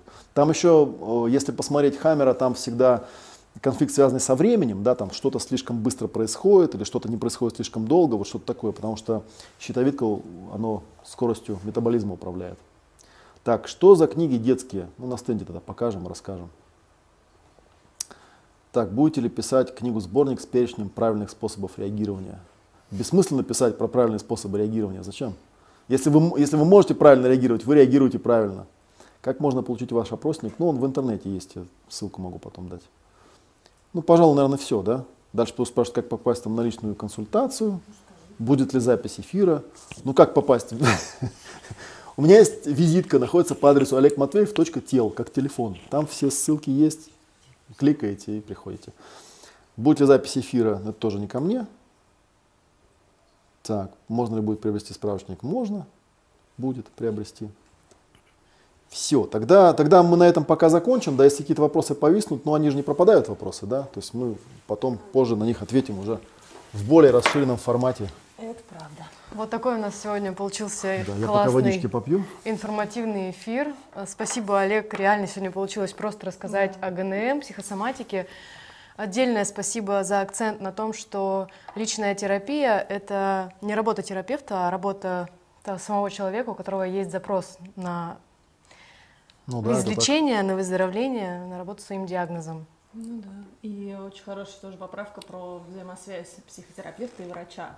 Но мы постоянно об этом говорим, и я еще раз скажу, что психосоматика работает комплексно всегда. А, ну, То есть можно делать ставку на психосоматику, если вы очень сильно уверены в своих действительно реакциях и в соединении с собой. Но когда идет комплекс, и вы работаете и с врачом, и с психосоматологом, шансов намного больше. И, собственно, об этом все. И а, Олег очень здорово и информативно, и очень просто, на самом деле, рассказал а, о том, что такое ГНМ. Вот, но это большая тема, поэтому мы проводим мероприятия, потому что нельзя за один эфир или за один, там, даже за одну встречу с терапевтом нельзя ухватить это. Это большая работа, это большой ну, пласт, в который нужно погружаться. И, Исследование. собственно, Ну да, и есть много специалистов, у каждого есть свои, св- своя грань какая-то, которую он рассматривает лучше, чем другие. И это действительно для каждого человека это большая работа, да, с этим разобраться, понять, кто нужен именно ему, вот кого у него в пазле не хватает в его схеме, да, и да, я всегда подчеркиваю, что, конечно, хорошо, когда есть врач хороший, который вас понимает, то есть не создает вам конфликты постановки диагноза, а наоборот как бы понимает, что есть тело, да, что есть задача, да, его там вывести на оптимальный режим. Есть разные уровни воздействия. И важно искать этого врача своего. Ну, то есть нельзя свет, свет клином сводить на одном. Нужно искать своего врача, своего терапевта, пробовать. Ну, то есть искать какие-то свои постулаты, которые для вас лично будут работать. Потому что для вас это может сработать, а для соседа нет. И наоборот. И поэтому очень важно искать. И поэтому, опять же, мы приглашаем вас всегда на, на форум, уже четвертый раз садимся в эфир, приглашаем на форум именно поэтому. Потому что все специалисты, которые будут на форуме, они в вашем доступе. Все спикеры, которые выступают. Олег выступал у нас в прошлом году. В этом году, он, к сожалению, занят в другом мероприятии, но там будет стенд. Ну, ты же приедешь да. Да. какое-то время? Я и там буду можно вот, периодически. да, дойти, по- пощупать, познакомиться с Олегом. Можно посмотреть на всех спикеров, которые со сцены будут выступать. И Они точно так же будут взаимодействовать э, с вами, ну, потому что это важно. Важно найти этот контакт. И э, вот, еще книжку принесла. Да. Ну, здесь нельзя не рассказать. Жильбер Рено, автор книги «Исцеление воспоминанием». Это, собственно, один из, э, как его назвать, я даже не знаю, мастодонтов, наверное, там, ГНМ. Но это у него уже свои, это, это Своя своя методика, да, которая на Ну, на базе ГНМ, базе да. ГНМ Новая сделана. психосоматика на базе ГНМ, да. Да, и он прилетит из Канады и будет на форуме, и точно так же будет разбирать и кейсы из зала, и взаимодействовать с аудиторией. А, Жильбер Рено меня в свое время поразил и увлек именно тем, что у него очень много позитивных примеров, позитивных реальных кейсов. То есть это не человек, который теорию какую-то рассказывает, что вот так надо делать, а у него реально десятки людей, которые выздоровели.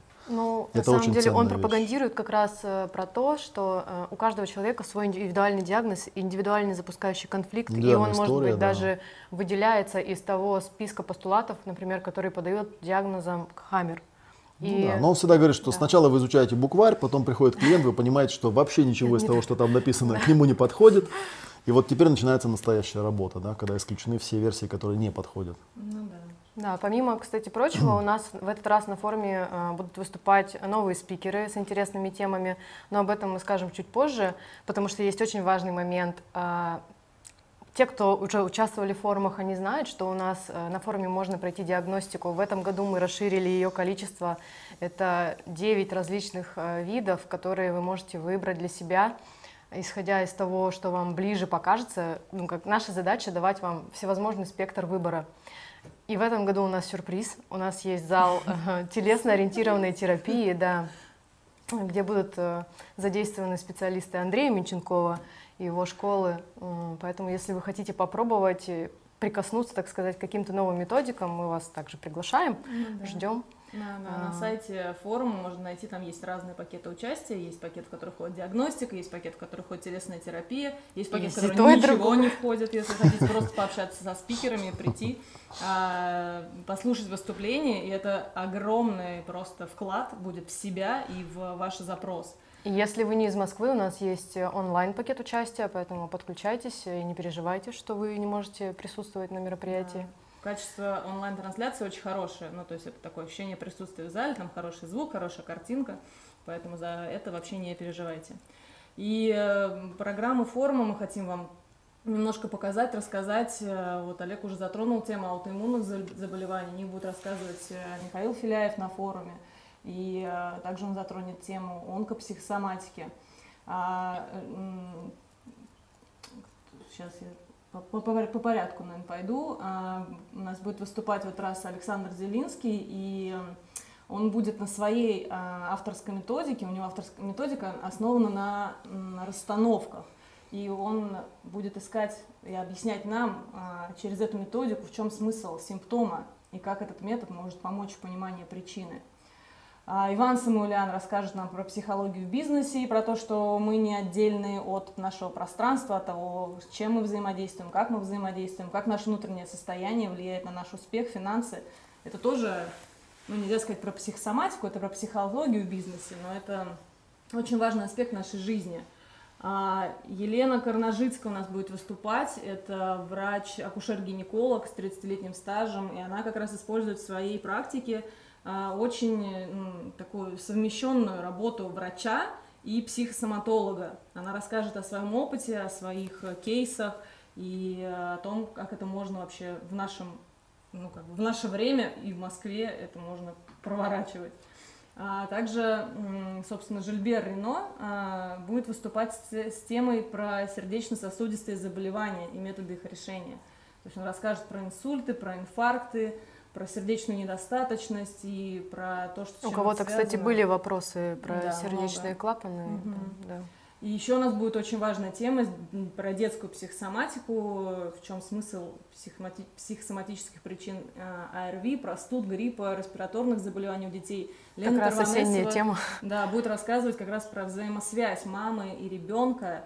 И вот сегодня много было вопросов про детскую психосоматику. Олег очень правильно заметил, что дети отрабатывают как-то Семейный эгрегор. Ну, санитары, да, санитары, санитары, да. родительских проблем. И вот, собственно, на форуме можно там с помощью инструментов, которые даст Елена, а, понять, как а, это ну, гармонизировать, потому что исцелить, а, как мы уже поняли, это вопрос индивидуальный и выбора человека, наверное, а вот гармонизировать можно все что угодно.